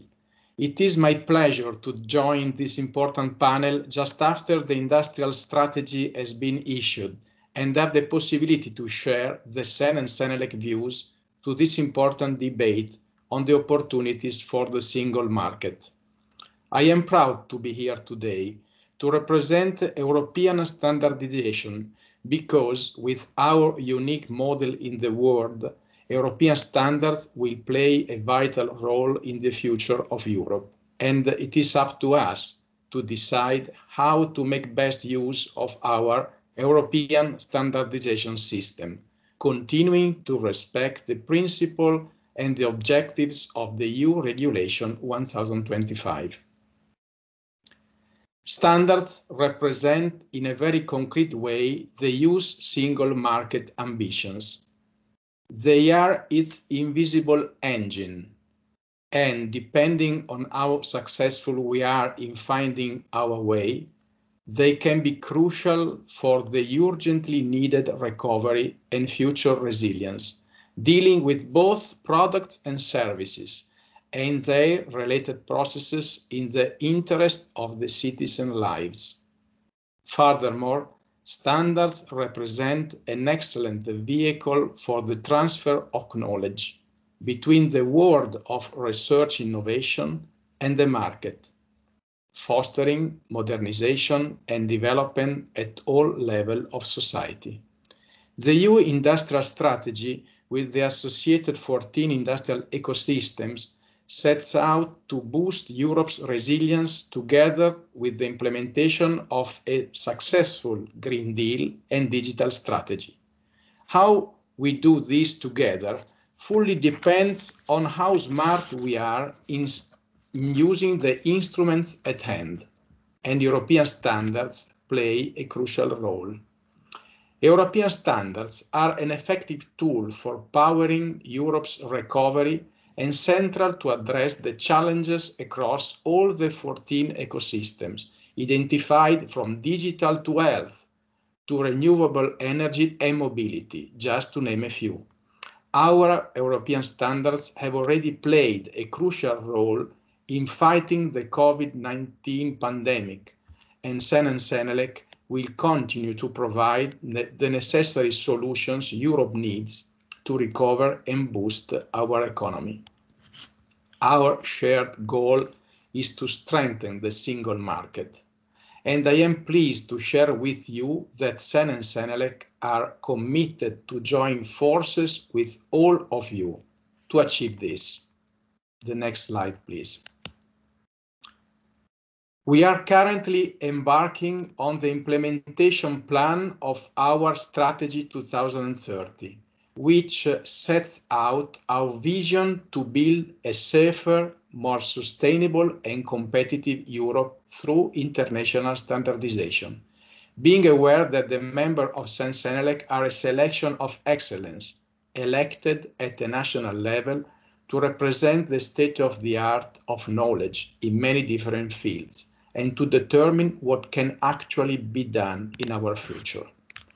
We want to use our network to build consensus across industry and society in order to generate trust, stimulate market access, and drive innovations for a better life. The next slide, please. Working together to achieve this will be vital for a strong and efficient, efficient single market. Our strategy 2030 sets out five goals. Uh, the next, please. EFTA recognized the strategic value of the European standardization system.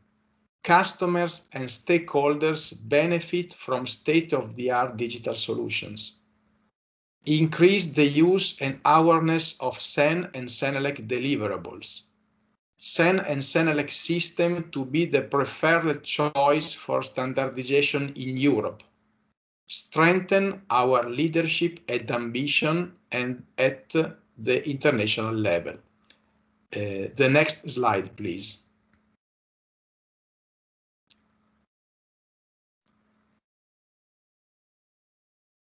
As the European Commission embarks on the development of a European standardization strategy, we look forward to implement our goal one and work together with our sister organization ETSI and the European Commission to exploit the benefits of the new legislative framework principles as key conditions, not only for a solid and reliable European standard standardization system, but as a powerful catalyst for the recovery and resilience of the European economy. European legislation has relied on technical voluntary standards for the last 30 years for the efficient implementation and uptake of Europe's policy priorities. This approach, relying on the new legislative framework principles, has been an effective tool and should now be reinforced at a time when economic recovery is key to the survival of many European companies, especially the small and medium enterprises. Thanks to all stakeholders working together, we can develop standards that are fit to the latest technological and economic developments and provide solutions to the most pressing challenges. In our strategy 2030, we commit that our customers and stakeholders will benefit from state-of-the-art digital solutions, which will provide tangible results to the challenges identified in the revised industrial strategy. Our standards are the outcome of a collective work, as they are developed through the consensus of our national members and heavily depend on the active contribution of industry and societal stakeholders. I am pleased to be on the same panel today with key contributors to our standardization work in CEN, CENELEC, and ETSI, the so-called Annex 3 organizations. European standards represent the consensus of all European stakeholders, from large industry to small and medium enterprises, to consumers, societal stakeholders, as well as legislators. This, combined with our single standard models, ensure that European standards are effective at enabling intra-market trade and underpin the competitiveness of European industry. But standards also help create a, war, a world we can trust. Standards contribute to high quality, safe, secure and su sustainable goods.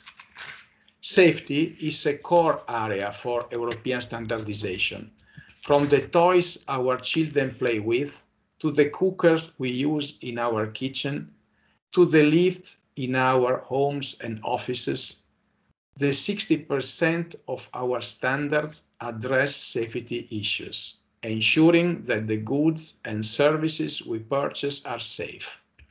The examples show how much standard can help people to live better.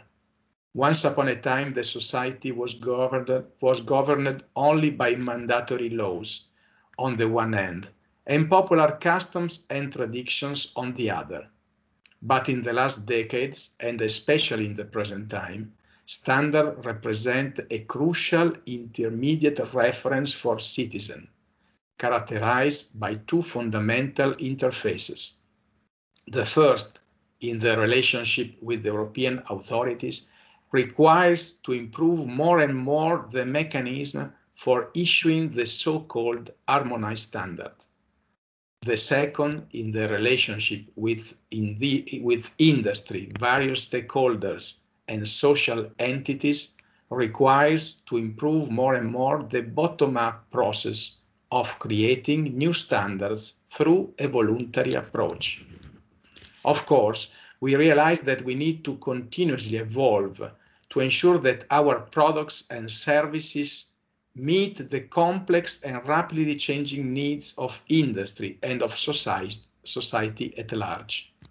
This is also core of our strategic goal 3, where we commit to increase the use and awareness of CEN and CENELEC deliverables. Our aim is to offer an open, accessible, seamless and responsive standardization system for all stakeholders we therefore support and promote the role of the national standardization bodies and national committees in this regard as the most appropriate and effective channels for all stakeholders to get to get involved in European standardization work. Our, we, our vision is that CEN and CENELEC system will be the preferred choice for standardization in Europe, and, and that implies providing an open, transparent, and inclusive standardization system, but also a system that is agile, ready to adapt to emerging technologies and innovations, and a system that listens to emerging societal needs. Let me conclude my statement with the last strategic goal, which aims to strengthen our leadership and ambition at the international level. From our side, we give primacy to ISO, the 40% of CEN catalog identical or based on ISO deliverable, and IEC, the 78% of CENELEC catalog identical or based on the IEC deliverables. This unique nature and added value of the international first standardization principle which we apply ensures that Europe-wide adoption of international standards developed by ISO and IEC, which is a strong advantage for the recovery and boost of our European economic sector in order to ensure Europe plays a leading role on the global scene. It's therefore important to focus that our job of producing good standards is not all important for the EU countries and for the single market, but influences a lot the technical solutions that other countries intend to adopt within other economic systems, making Europe an essential point of reference. I want to thank you for your time and let me assure you that CEN and CENELEC are ready to work together with the European Commission, with ETSI, the economic and societal organization present on the panel and all interested stakeholders to rebuild our economy and emerge a more resilient Europe after the challenging past year. Thank you very much, with the hope to see you in person next time. Thank you very much. Now I'm giving the floor to Ms. Maitane Olabarria, Director of the Small Business Standards, the voice of European SME, SMI and in standardization. Please, Ms. Maitane Olabarria. Thank you and uh, very much for the invitation to IPQ and the Portuguese uh, presidency. Um, and thank you very much for the introduction. Uh, I think it is really important uh, to bring to the discussion the perspective of small and medium-sized uh, businesses. As we all know, um, SMEs represent the majority of all European companies and are key to ensuring economic growth, innovation, and job creation in Europe. So I think when we are talking uh, about recovery, we cannot do without uh, SMEs and taking into account their, uh, their perspective. Uh, we know that uh, although many SMEs have shown their flexibility and have been able to adapt during the crisis, they have also been uh, the ones that have suffered the most. Uh, they have been uh, more affected by the crisis than larger firms. So as I said, um, there cannot be a recovery uh, and cannot happen without SMEs. And for this, I think um, it is important um, that we have a strong single market. This has also been um, mentioned already by several speakers. Also for SMEs, um, it is the single market is the go-to market. Uh, in 2018, for example, 80% of exporting SMEs were selling to uh, other uh, member states. So this is an important aspect that we need to remember. So in this respect, and it was already mentioned by uh, Mr. Uh, Cozigou, I think it is fair to say also that we wouldn't have a single market uh, without European standards.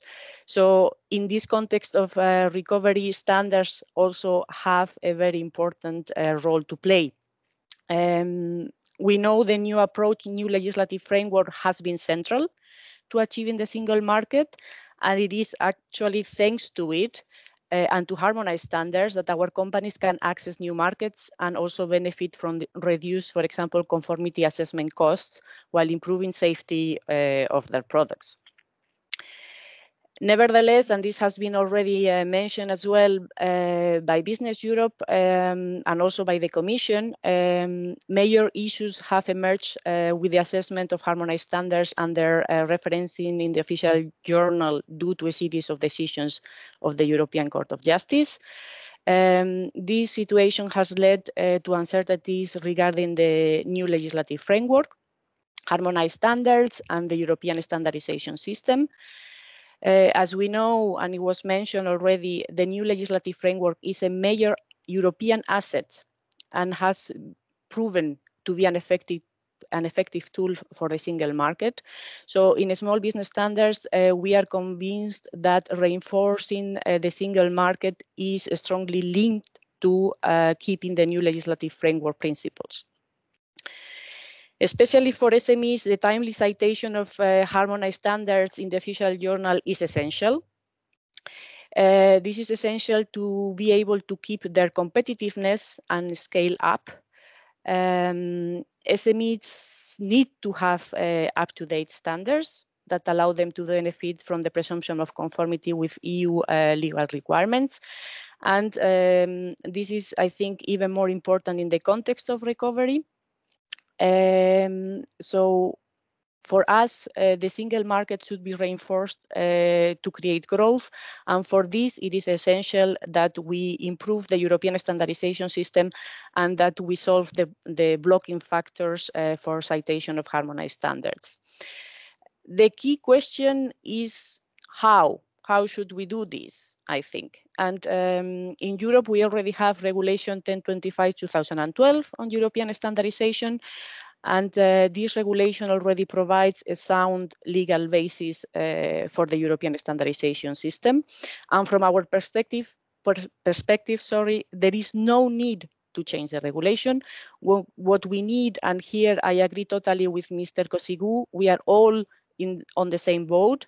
Uh, so what we need is to work all together, European Commission, European standardization uh, organizations, industry, and other stakeholders uh, within the system on uh, the implementation of the regulation to ensure there is a common understanding as well on the role of each of the actors in the system and specify clear objectives for the timely delivery and citation of standards.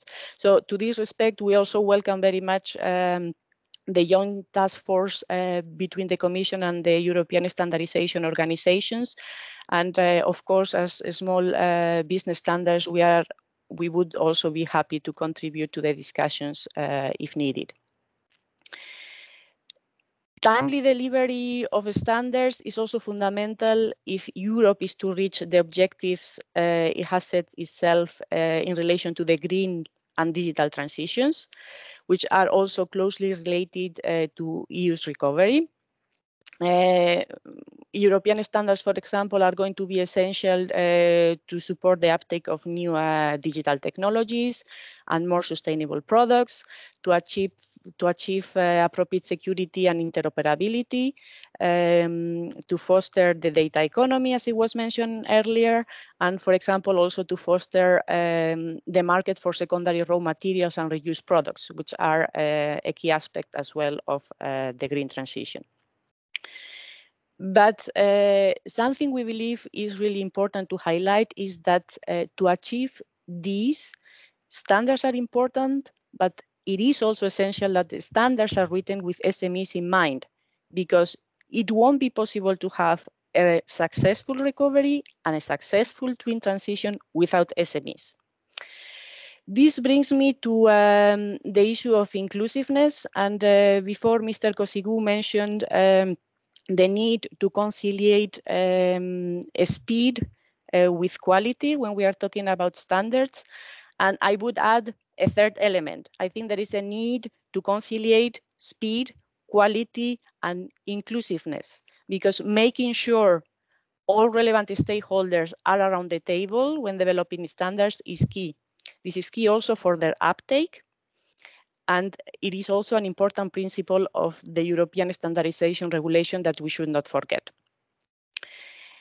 It is important SMEs are involved in standardization because otherwise we have the risk of developing standards that only cater to the needs of big companies. And um, although there have been considerable uh, achievements and advances regarding inclusiveness, uh, we also think there is still room for improvement and the participation um, of SMEs in standardization still rema remains a challenge in, in several aspects. Um, moreover, I think it is important to remember here um, that, and I'm uh, actually making a link also with the with the first panel, there is an increasing number of standards being developed at international level, either in parallel with the European uh, standards organizations and with the international ones, or they are taken over afterwards by the European standards organizations. And this is important. Uh, there is also, as well as it was said before, uh, the aspect of not only being um, standard takers, but also standard makers. But uh, this is also important because there are uh, there are sectors that are international by nature, and having common European international standards uh, can actually help them to access new markets and support the global competitiveness of European uh, businesses. Nevertheless, regarding inclusiveness, I would also uh, we also need to be aware that this also brings an additional challenge uh, also for SMEs, since they have more difficulties to be present at the table in international meetings.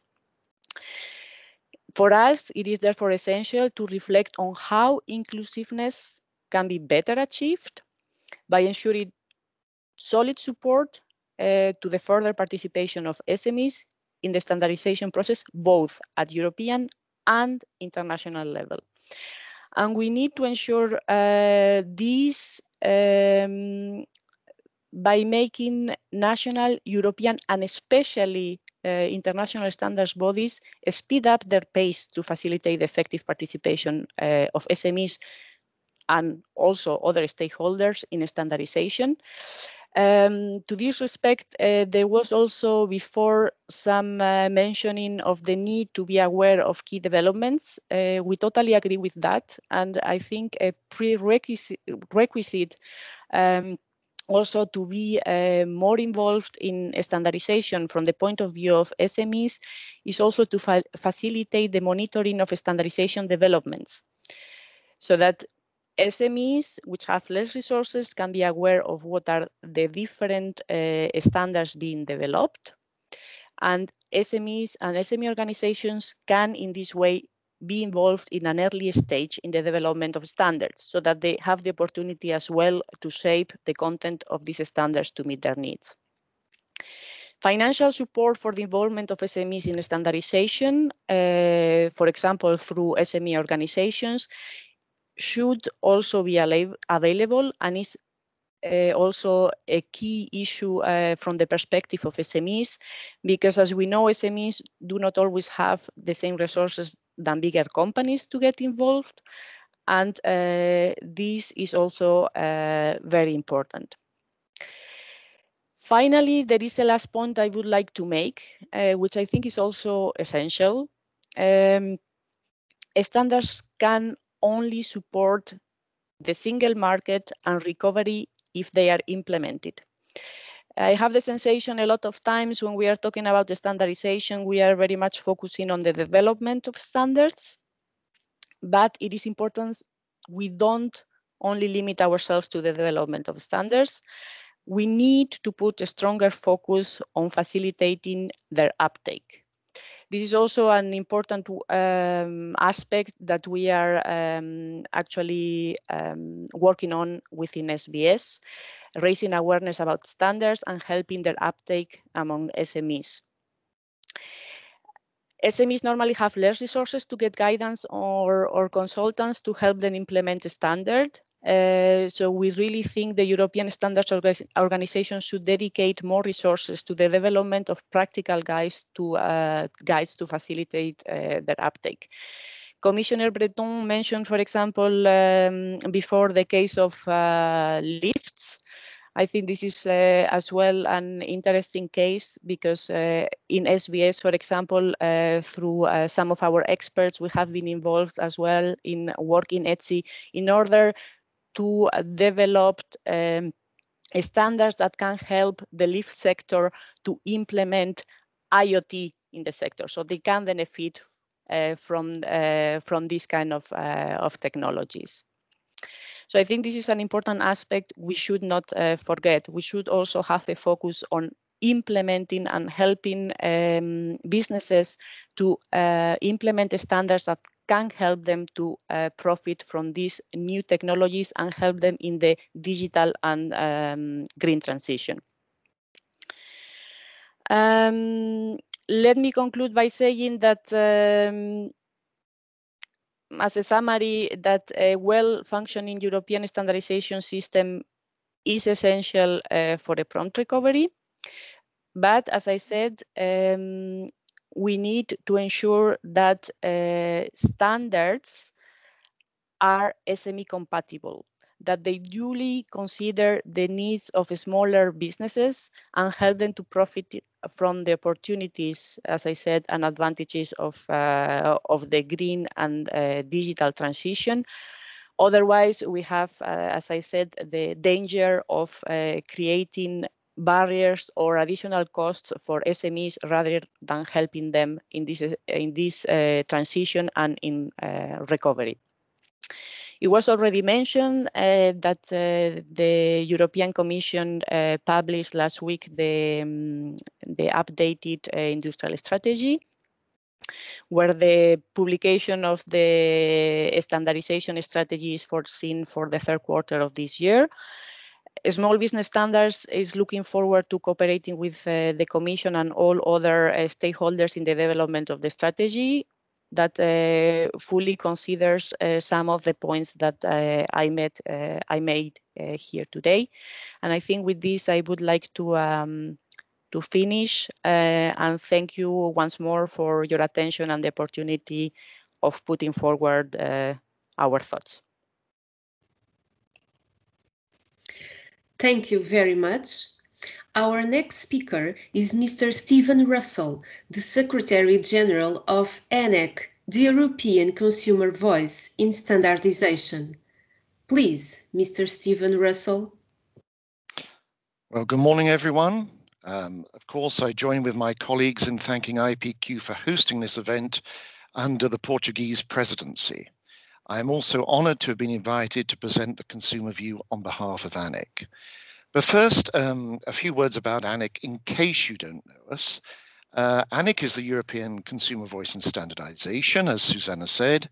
Our membership mirrors the 34 countries of CEN and CENELEC, with national consumer organizations in each country nominating a national member to our General Assembly.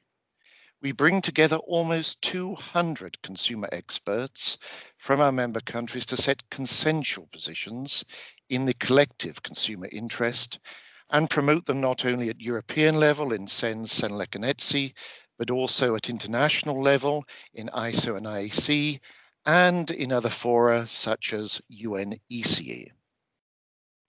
With a very few exceptions, all of our consumer experts are volunteers, contributing a value of over 550,000 euros to our work each year. Beyond our work in standardization, we advocate the consumer interest through a continuum of consumer protection and welfare, which comprises policy and legislation with BEUC, uh, the mainstream European Consumer Association, through conformity assessment and onto accreditation, market surveillance and enforcement. So that's what we are, but why do we do it? Well, consumer expertise, or rather in the products and services being standardized rather than standardization itself, is fragmented or absent at national level in most countries. If we did not offer a collective voice on behalf of European consumers, then there would be a deficit in the public private partnership of European standardization that has, I think we all agree, has supported the European single market for goods so well now for over 35 years.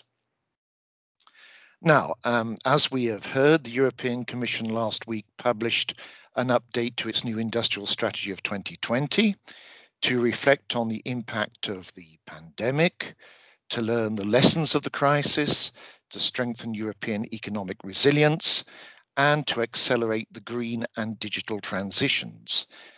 Now, there is much to welcome in the strategy, and we certainly look forward to it as a precursor to the standardization strategy later in the year. That said, there are two sides to a conversation, and for us, the industrial strategy speaks with only one clear voice. We do not hear the voice of the consumer sufficiently.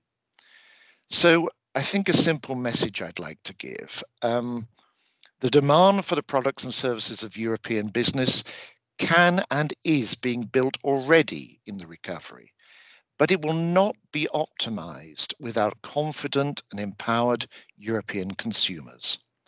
Consumer spending made up 54% of EU GDP before the pandemic. So, for reasons of economic and societal benefit, the consumer voice must be heard and consumers must be at the center of the digital decade and the Green Deal. Again, the European standardization system is unique in the world. It is the only system of standards development where participation of all stakeholders in the development of standards is facilitated by law, Regulation 1025 of 2012. And this is also to the benefit of business.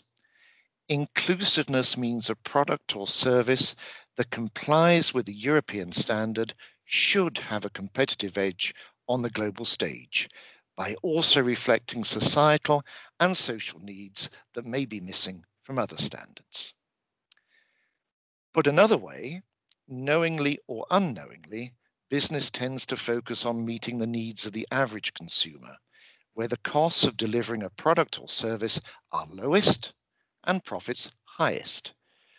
This leaves vulnerable consumers, young children, older people, and persons with disabilities at special risk of detriment. The best example of this remains the exclusion clause in the first generation of CENELEC standards for domestic electrical appliances, covering everything from a toothbrush to an oven. Now, vulnerable consumers were excluded from the safety requirements of these first generation standards unless under supervision. ANEC championed the deletion of the clause and co-led the technical work to revise the standards and strengthen their requirements. As a result, literally millions of appliances sold annually that now comply with the EN 60335 Part 2 standards are safer and more accessible for consumers of all ages and abilities. Now, despite all consumers being at risk of vulnerability in the digital age, especially noting the lack of security of connected products, and I'm sure we've all read those stories in the media, it is still children, older people, and persons with disabilities who have the highest chance of suffering detriment. It is why we have paid particular attention recently to initiatives aimed at promoting design for all in stands for products and services, such as EN 301549 in ETSI, and in issues such as the accessibility of public websites and apps, and the accessibility of the built environment. For example, the new EN 17210 standard in CEN. But an important fact, standards cannot do it alone.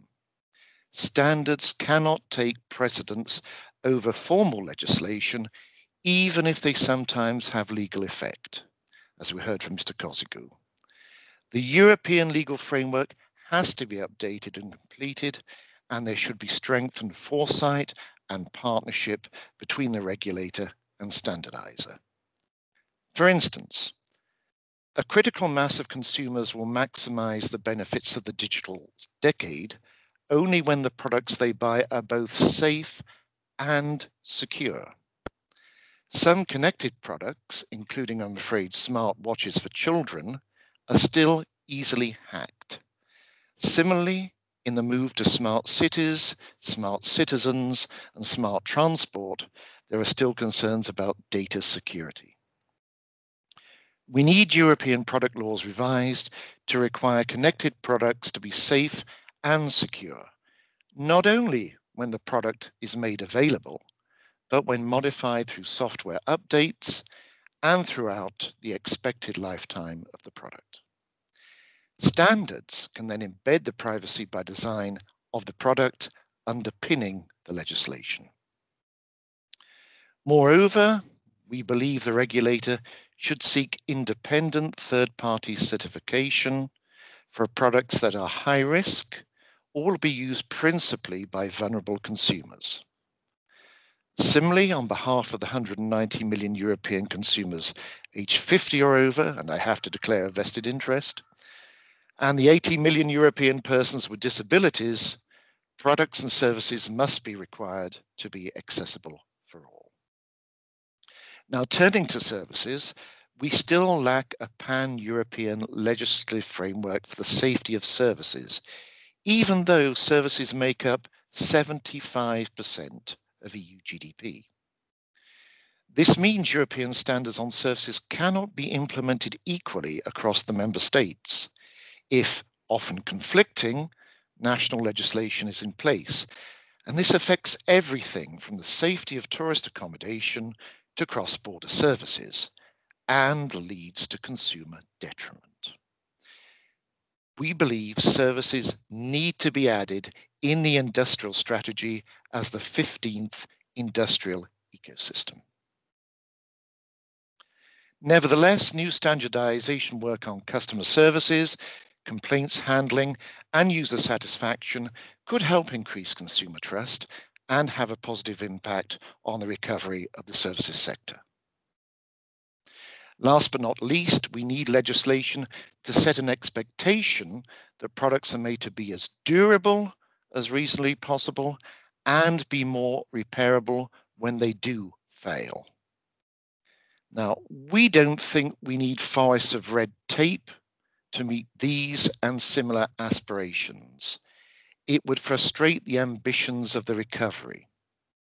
But we do need legislation to set a level, a level playing field in Europe that protects European business from unfair competition, allows the confidence of consumers to be secured, and most importantly, allows consumer demand to be unleashed. We can then do our jobs as stakeholders to develop the supporting standards. Finally, uh, some words about the legal environment in which European standardization operates. Um, I think we've all heard of the James Elliott and Anstar rulings of the European Court of Justice. Uh, Business Europe has already made mention of them, as has SBS. Taken together, these rulings mean that at least some European standards have legal effect. And as all European standards are implemented as identical national standards in 34 countries, including all member states, this status means member states should be ensuring, ensuring their national standards bodies involve all interested parties. Or if not that, that member states are at least backing the EU institutions to support and strengthen the organizations that provide a collective European voice, such as ANEC, ECOS, ETUC, and SBS. This needs to be particularly remembered when more and more European standards are being drafted or revised in ISO IEC, as SBS has said, even though Europe is now looking to set the standards agenda. Building on what Business Europe and SBS also said, we need to accept that the Commission has a right of oversight. But what we must not risk are continued delays in the referencing of standards that cause industry to no longer invest in European standardization, to walk away from European standardization, and instead to go directly to notified bodies where they can pay for type approval in order to achieve market access. If that happened, we as consumers would have no influence over the specifications the notified bodies choose to use, and SMEs would be driven from the market by the costs involved, so reducing consumer choice and competition. It's a fine line, but for the success of Europe, we need to ensure a win-win. Thank you, everyone, and thank you again to IPQ. Thank you. Thank you very much. The next speech is from Mr. Justin Wilkes, Executive Director of ECOS, Environmental Coalition and on Standards. Mr. Justin Wilkes, the floor is yours. Thank you very much. Uh, I hope you can see my slides. Uh, I'd like to uh, present to you uh, ECOS's view uh, on uh, the issues that are being discussed today, and to obviously start by saying thank you very much to the Portuguese presidency and IPQ for the invitation to speak.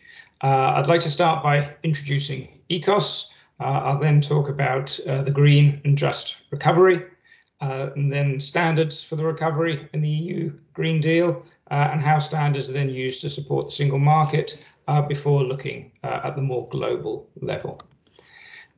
Firstly, I'd like to introduce ECOS. So ECOS is the new ECOS. Uh, we have a new name and we have a new branding. Uh, however, our acronym remains ECOS, but we are the Environmental Coalition on Standards. And there's a few things we wanted to do with that uh, rebranding. Uh, we wanted to show that ECOS is an environmental uh, NGO, uh, but uh, specifically an international environmental NGO, uh, and that it provides technical expertise for the standardization system and is a network of members and experts. In terms of the green and just recovery, I think it's very, very important to be aware that obviously the shape of the recovery uh, will shape our economy uh, for a generation. will that be a clean and circular economy, or will that be a different type of economy? The recovery provides an ideal opportunity to address environmental urgency emergencies such as climate change uh, and ambitious policies and robust standards should be at the heart of the economic stimulus packages uh, that are being promoted across Europe uh, and the rest of the world. Standardization can and should uh, simultaneously support the recovery uh, and the twin transition uh, to green and digital. I think standards as a tool are, are key in this element. In terms of how standards uh, support the recovery and the European Green Deal, uh, I think it's a substantial support uh, and an overwhelmingly positive support. Uh, standards could be used for optimizing product design, greening of high impact sectors, uh, such as low carbon cement, uh, such as hyper efficient data storage products, or hyper efficient cooling. Uh, standards can also be used to rethinking uh, production processes, packaging, plastics, uh, and I think here will be key, uh, will be turning uh, reuse and refill systems into the norm uh, rather than the exception. and I think the standardization system that develops the takes first mover advantage in universal packaging sizes for reuse and refill will be the standard maker and not the standard taker. Standards are also going to be cru crucial uh, for uh, greening our textile sector, construction waste, uh, and also for carbon neutrality and sustainable finance. Uh, how do we measure sustainability? Uh, how do we measure uh, carbon neutrality? In terms of using standards to support the single market, uh, standards uh, are a fundamental element uh, to support uh, and implement EU policy. Standards support regulation. They should not uh, replace regulation. And standards should be seen as enablers, not as barriers. Where they are identified as barriers, in the small number of cases that they are identified as barriers in terms of the transition to a green economy, whether that's preventing low carbon cement alternatives from reaching market, whether that's preventing the deployment of natural refrigerants, um, then I think it's absolutely vital that any standardization strategy uh, looks at a concerted effort uh, as to how those standards uh, can be addressed.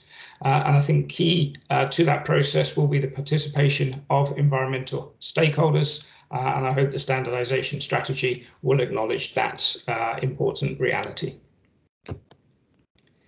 In terms of now looking at the global level, uh, obviously the single market is a market uh, within uh, a global market. Uh, will the economic and environmental transition be characterized by cooperation, competition, or coexistence? Uh, and I think that's an absolutely key issue. Uh, so, for example, will will will will the resources that underpin the environmental economy uh, will they be subject to cooperation competition or coexistence? I'm thinking there cobalt i'm thinking gallium i'm thinking indium lithium just to name uh, a few. Uh, and what about the products uh, and technologies that will underpin the environmental economy? Whether that's batteries whether that's hyper efficient cooling technologies or hyper efficient data storage technologies uh, how will they develop be, be developed uh, at the global level through cooperation, competition, uh, or coexistence? Uh, and I think the third element there is the business models uh, that will underpin the environmental economy moving forward. Uh, one example there that I've already given is reuse and refill systems as the norm rather than the exception. Obviously, uh, it's not going to be either cooperation, competition, or co coexistence. Uh, the global uh, fight uh, for uh, global dominance uh, will, of course, be a combination of the above. the US, for example, re entering the Paris Climate Agreement will, of course, result in increased cooperation, but also increased competition. In terms of uh, using uh, standards uh, to support EU policy, there is a growing use of international standards to support EU policy. Uh, ECOS uh, has no issue with that uh, on a point uh, of principle. Uh, the EU industrial strategy, I think, is key uh, in terms of global leadership in technologies, goes hand in hand with leadership in standard setting. and I think the other key element to bear in mind is the Sustainable Development Goals will increasingly set the, the global agenda in the 2030 timeframe, and that will, of course, include environmental issues. Looking globally, inclusiveness uh, must become an overarching principle in international standardization. Uh, and I think there the uh, parties to the Aarhus Convention, such as the European Union, uh, need to take their legal obligations seriously there in terms of promoting uh, the access of environmental stakeholders to international discussions. International environmental agreements uh, I think is as a driver for standardization. Uh, we have the Paris Accord, uh, we have the Montreal Protocol, uh, we have the Basel, Rotterdam, St Stockholm Conventions. All of those international agreements are using standards uh, in one way, shape, or form. Uh, and I think the increasing number of those international environmental agreements does need to be paid more attention to by the standardization system in a strategic manner. Uh, and I think the, uh, the creation of a uh, international treaty on plastics waste and plastics pollution, I think will be a very interesting example for the standardization community to engage in in a strategic, proactive way. and I think my last point to make uh, during this presentation is obviously trade policy. Uh, and we need to reimagine trade policy to make sustainability the norm uh, and link that, of course, with the EU Sustainable Products Initiative uh, to make sure that EU trade policy is compatible with all other EU policies. Thank you very much. Thank you very much. The last speech of the second panel will be made by Isabelle Schömann, the Confed Confederal Secretary in charge of standardization at ETUC, European Trade Union Confederation. Please, Ms. Isabelle Schömann.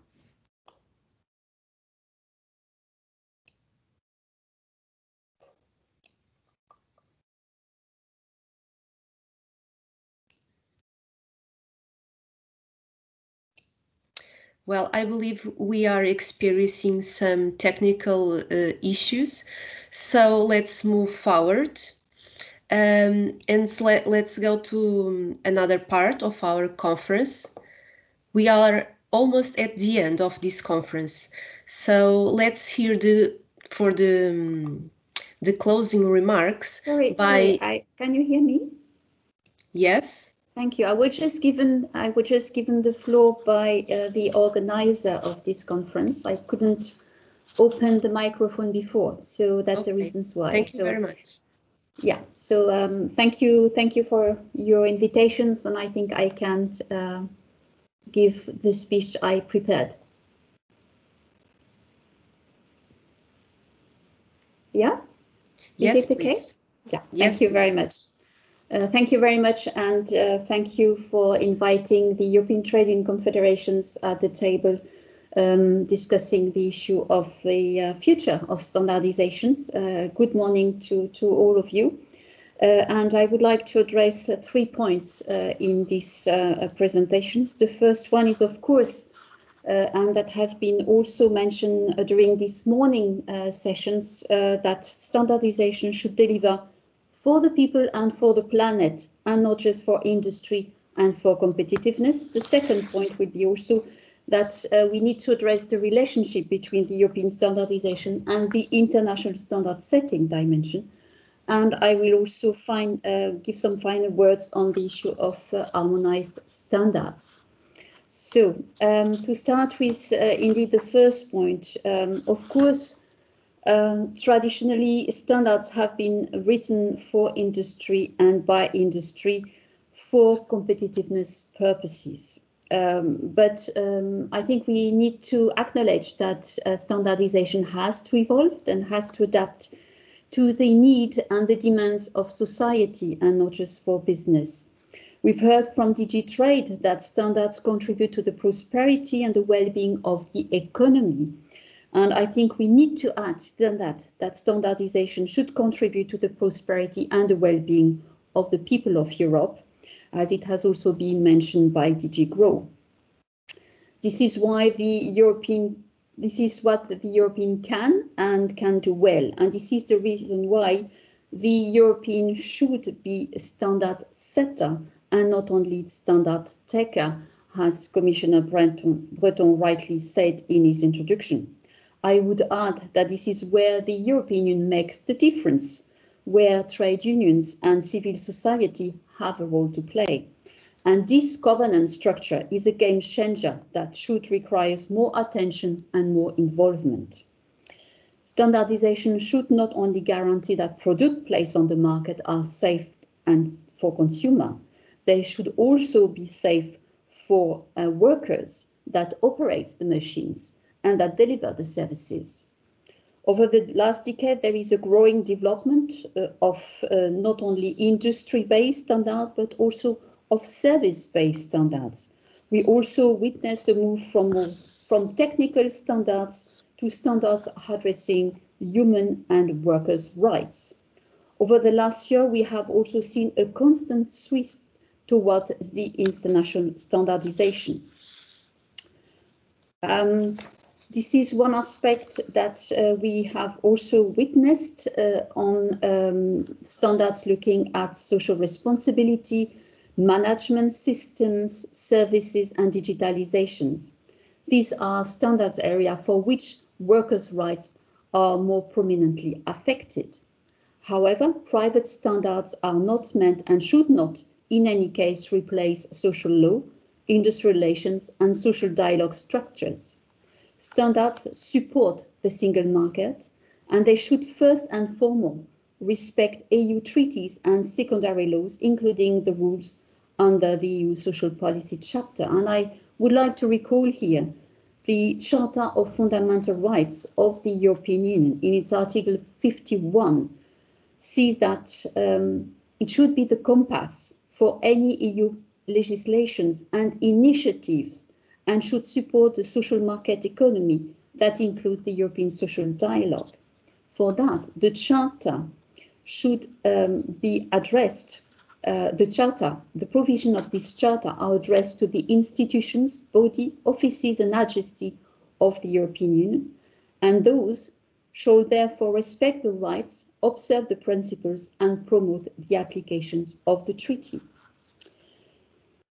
We see that standardization can deliver for safer and healthier workplace and working conditions, and the trade union movement gets involved to influence the content of those standards.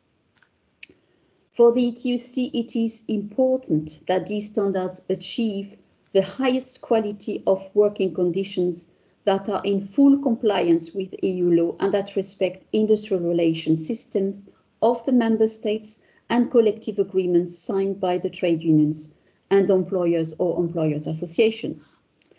Having European standard can help achieving upwards convergence, meaning that workers in countries with less safety requirement would benefit from better working conditions. The ETUC notes that standards will increasingly be used to underpin policy goals in the framework of the digital and the green transition that are operating in Europe. The ETUC is, for example, very active when it comes to artificial intelligence, where harmonized standards will underpin the EU legislative act. However, um, AI cannot be reduced to a product as any other product, in particular because of its immateriality. It is also clear that ethical rules on artificial intelligence do not belong in standardizations, nor does the right to protect data and to respect privacy.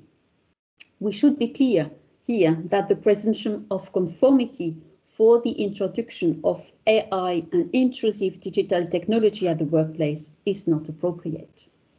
Finally, where standardization projects are not compatible with EU values and principles, like the one related to compensation, for example, the ETUC will clearly oppose them, and the EU should do the same. It is key that standardization do not lead to social dumping. Likewise, standardization on green finance or other areas as developed by ECOS, and thanks Justin for that, that those standardization on green finance and environmental standards do not lead to greenwashing. This is the reasons why we must remain very vigilant.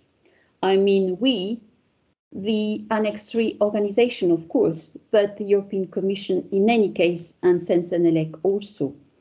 And this is the reasons why more attention should be given to the Annex 3 organization. And on this uh, part, uh, I would like to remind that uh, we are not annexed, we are key uh, players and key actors uh, in standardizations.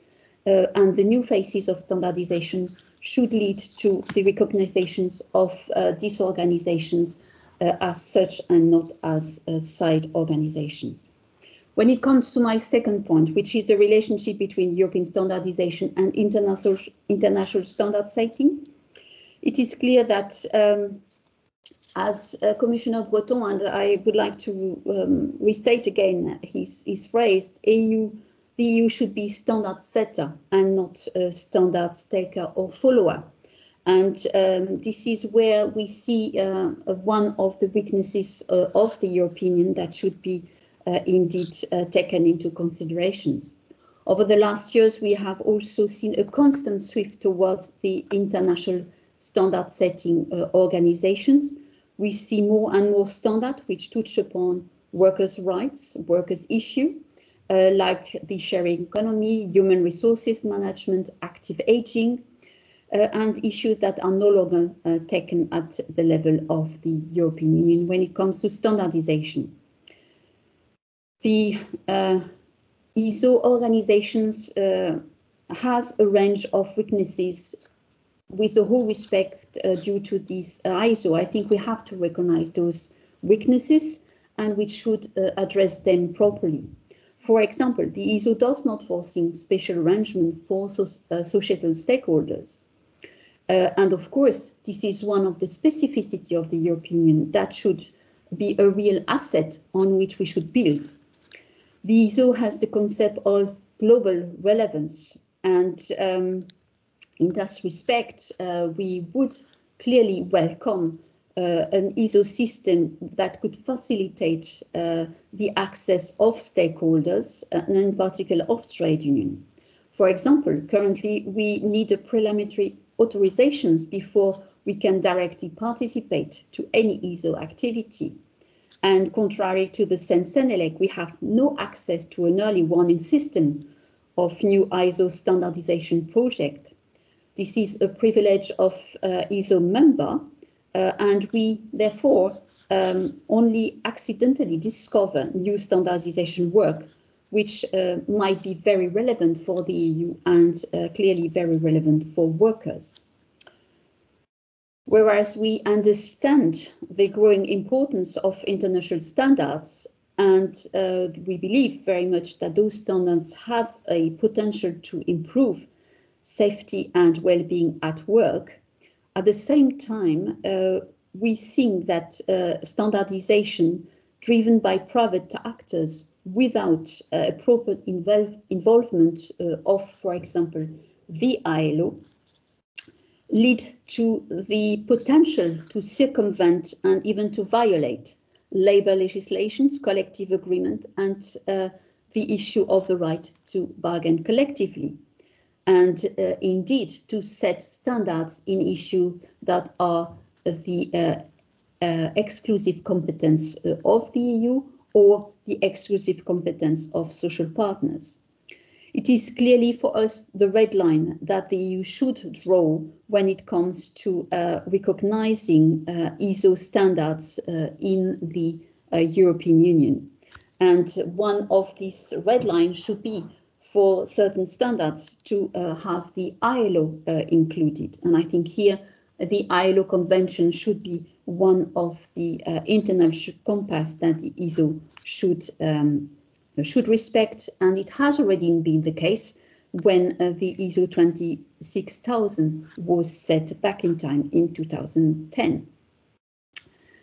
This is also why it is crucial to remain very vigilant as the Vienna Agreement for the transposition of international standards at the European level foresee a principle of primacy of international standardizations. The ETUC call here for the review of this agreement so as to guarantee a robust control of legality and compatibility of interna international standardizations before its authorizations uh, and the application of those international standards at the level of the European Union and the national member states. And on these points, we clearly um, are uh, disagreeing with the position of CEN and CENELEC. Some final words on harmonized standards. Uh, the ETUC believes that the control of legality in the harmonized standards areas offer advantages that should continue to be taken into consideration.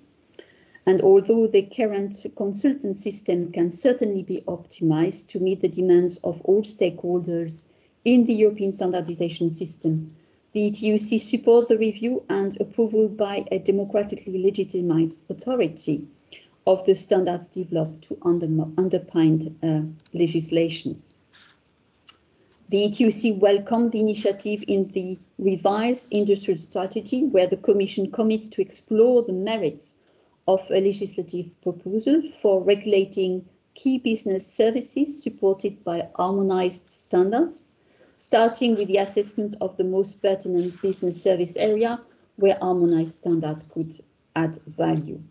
And to carry out, of course, a thorough analysis to the potential of harmonized standard to facilitate cross-border activity, market potential and opening of and overall economic benefit, including um, certain sectors uh, and certain uh, uh, constituencies and we welcome also very much that there will be uh, impact on worker conditions and workers' rights that will be subject to uh, thorough uh, considerations.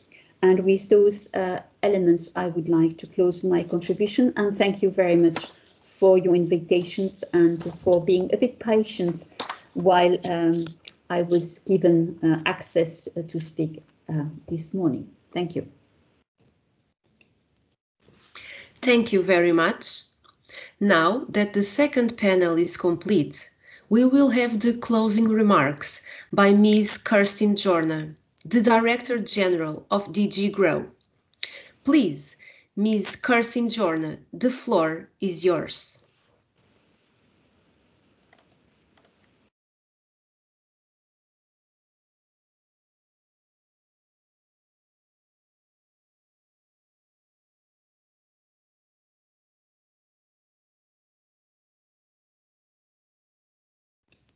Don't forget to turn on the, the sound, please, the microphone.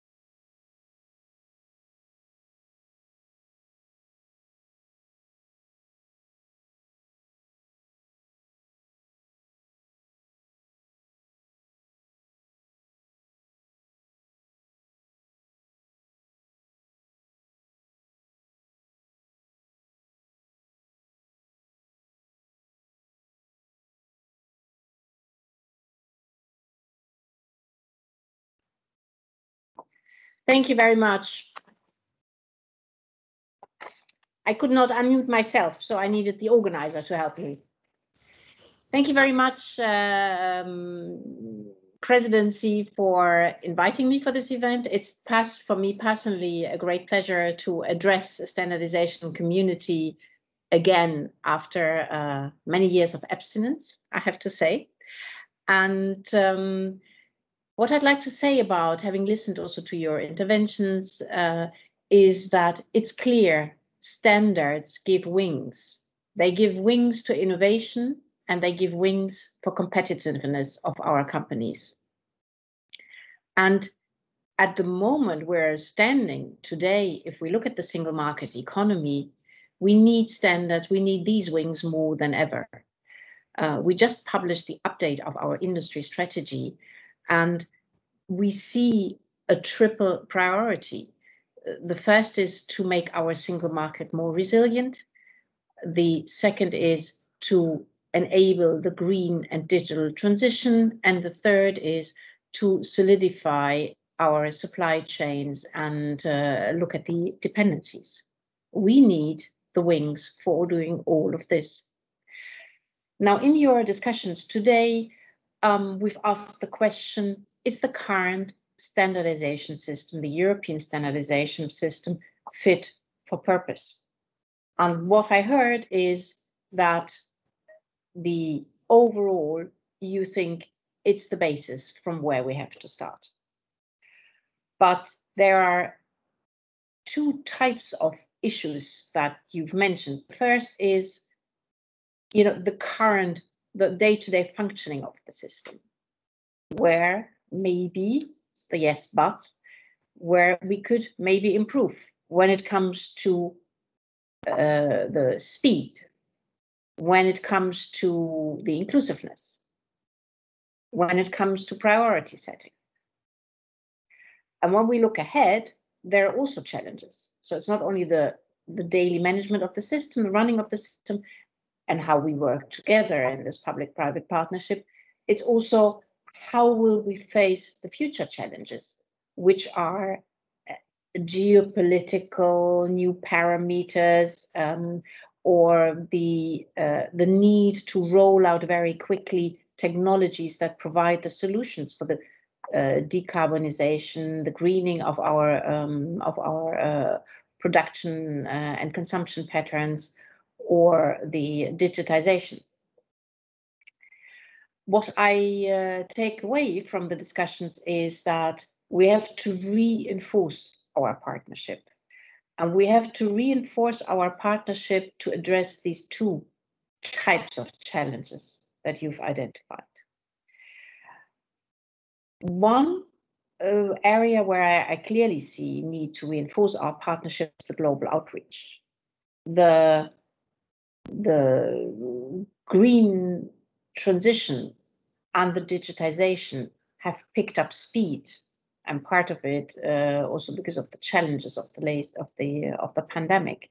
They've taken up speed, so there is a need to roll out these technologies and the solutions actually that technologies provide faster, and which means we need standards faster, and we need to act faster and together at Europe at international level as well.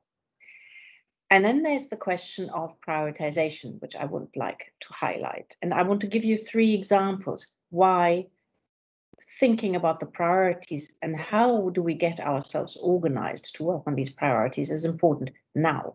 Um, and thank you very much, Presidency, for organizing this event, in fact, now. My first example is hydrogen. Uh, based on our hydrogen strategy of last uh, autumn and the Hydrogen Alliance, which now includes more than 1,000 companies, we have a massive, we will have a massive pipeline of projects to be ready to go for market uptake. And we need the standards uh, to allow this. Europe is probably the first, will be the first functioning hydrogen market. So that's a huge opportunity to set the benchmarks, to set the standards for this market.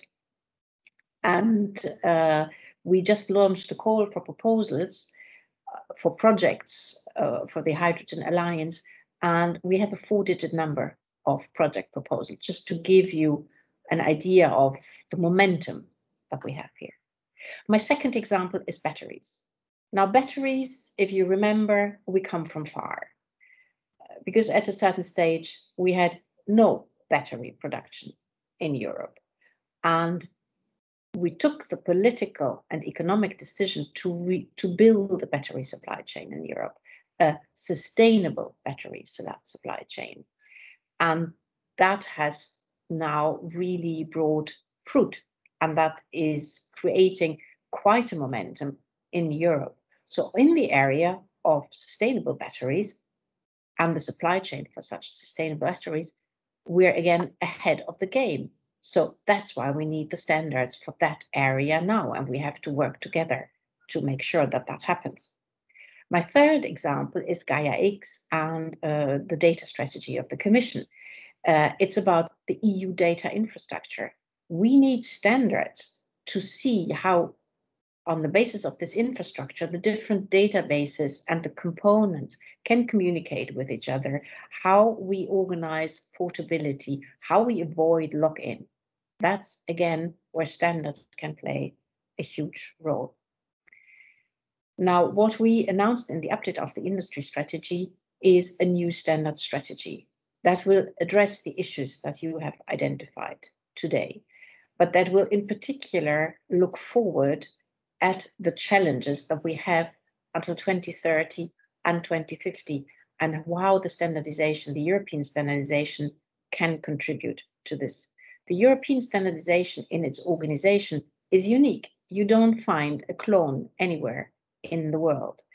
And uh, the, in particular, the cooperation between the, the, the legislator, the legislative side, and the standard side is a pretty unique way of doing things. So let's leverage that system.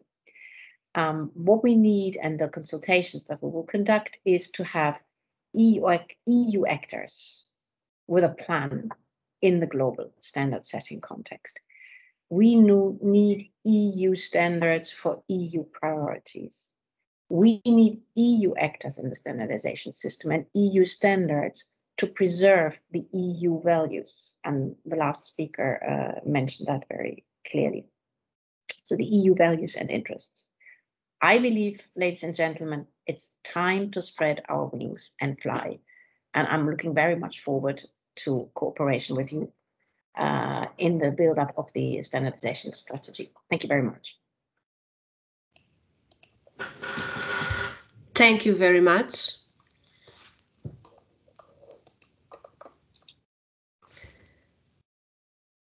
We are almost at the end of this conference. The closing remarks, the closing session will be made by Ms. Ana Ramalho, member of the board of the Portuguese Institute for Quality. Please, Ms. Ana Ramalho. Thank you very much, Susanna. Good morning. We have reached the end of our conference, and on behalf of the Portuguese Institute for Quality, I would want to express our gratitude for the participation of all our excellent speakers who have contributed tremendously to the success of our event and the achievement of our goal basically translated into giving voice to the decision makers on the subject of standardization and to establish bridges between all partners. We also want to thank everyone who signed up, shared, and participated in our event.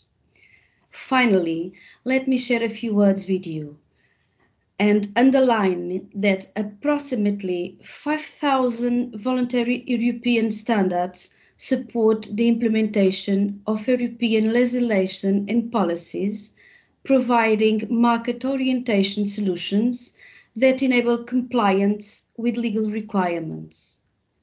In addition, these standards are regularly reviewed to take into account innovation and new technological developments, allowing legislation to be kept up to date when referring to standards. Timely and effective harmonized standardization in European Union is crucial for the competitiveness of our industry and for the maintaining of single market with a view to a robust recovery and competitive and sustainable Europe. I think today the importance of standardization in the European economic recovery has become clear. Thank you very much again for participating in our event and we hope to see you soon and continue working together. Thank you very much. Have a nice day.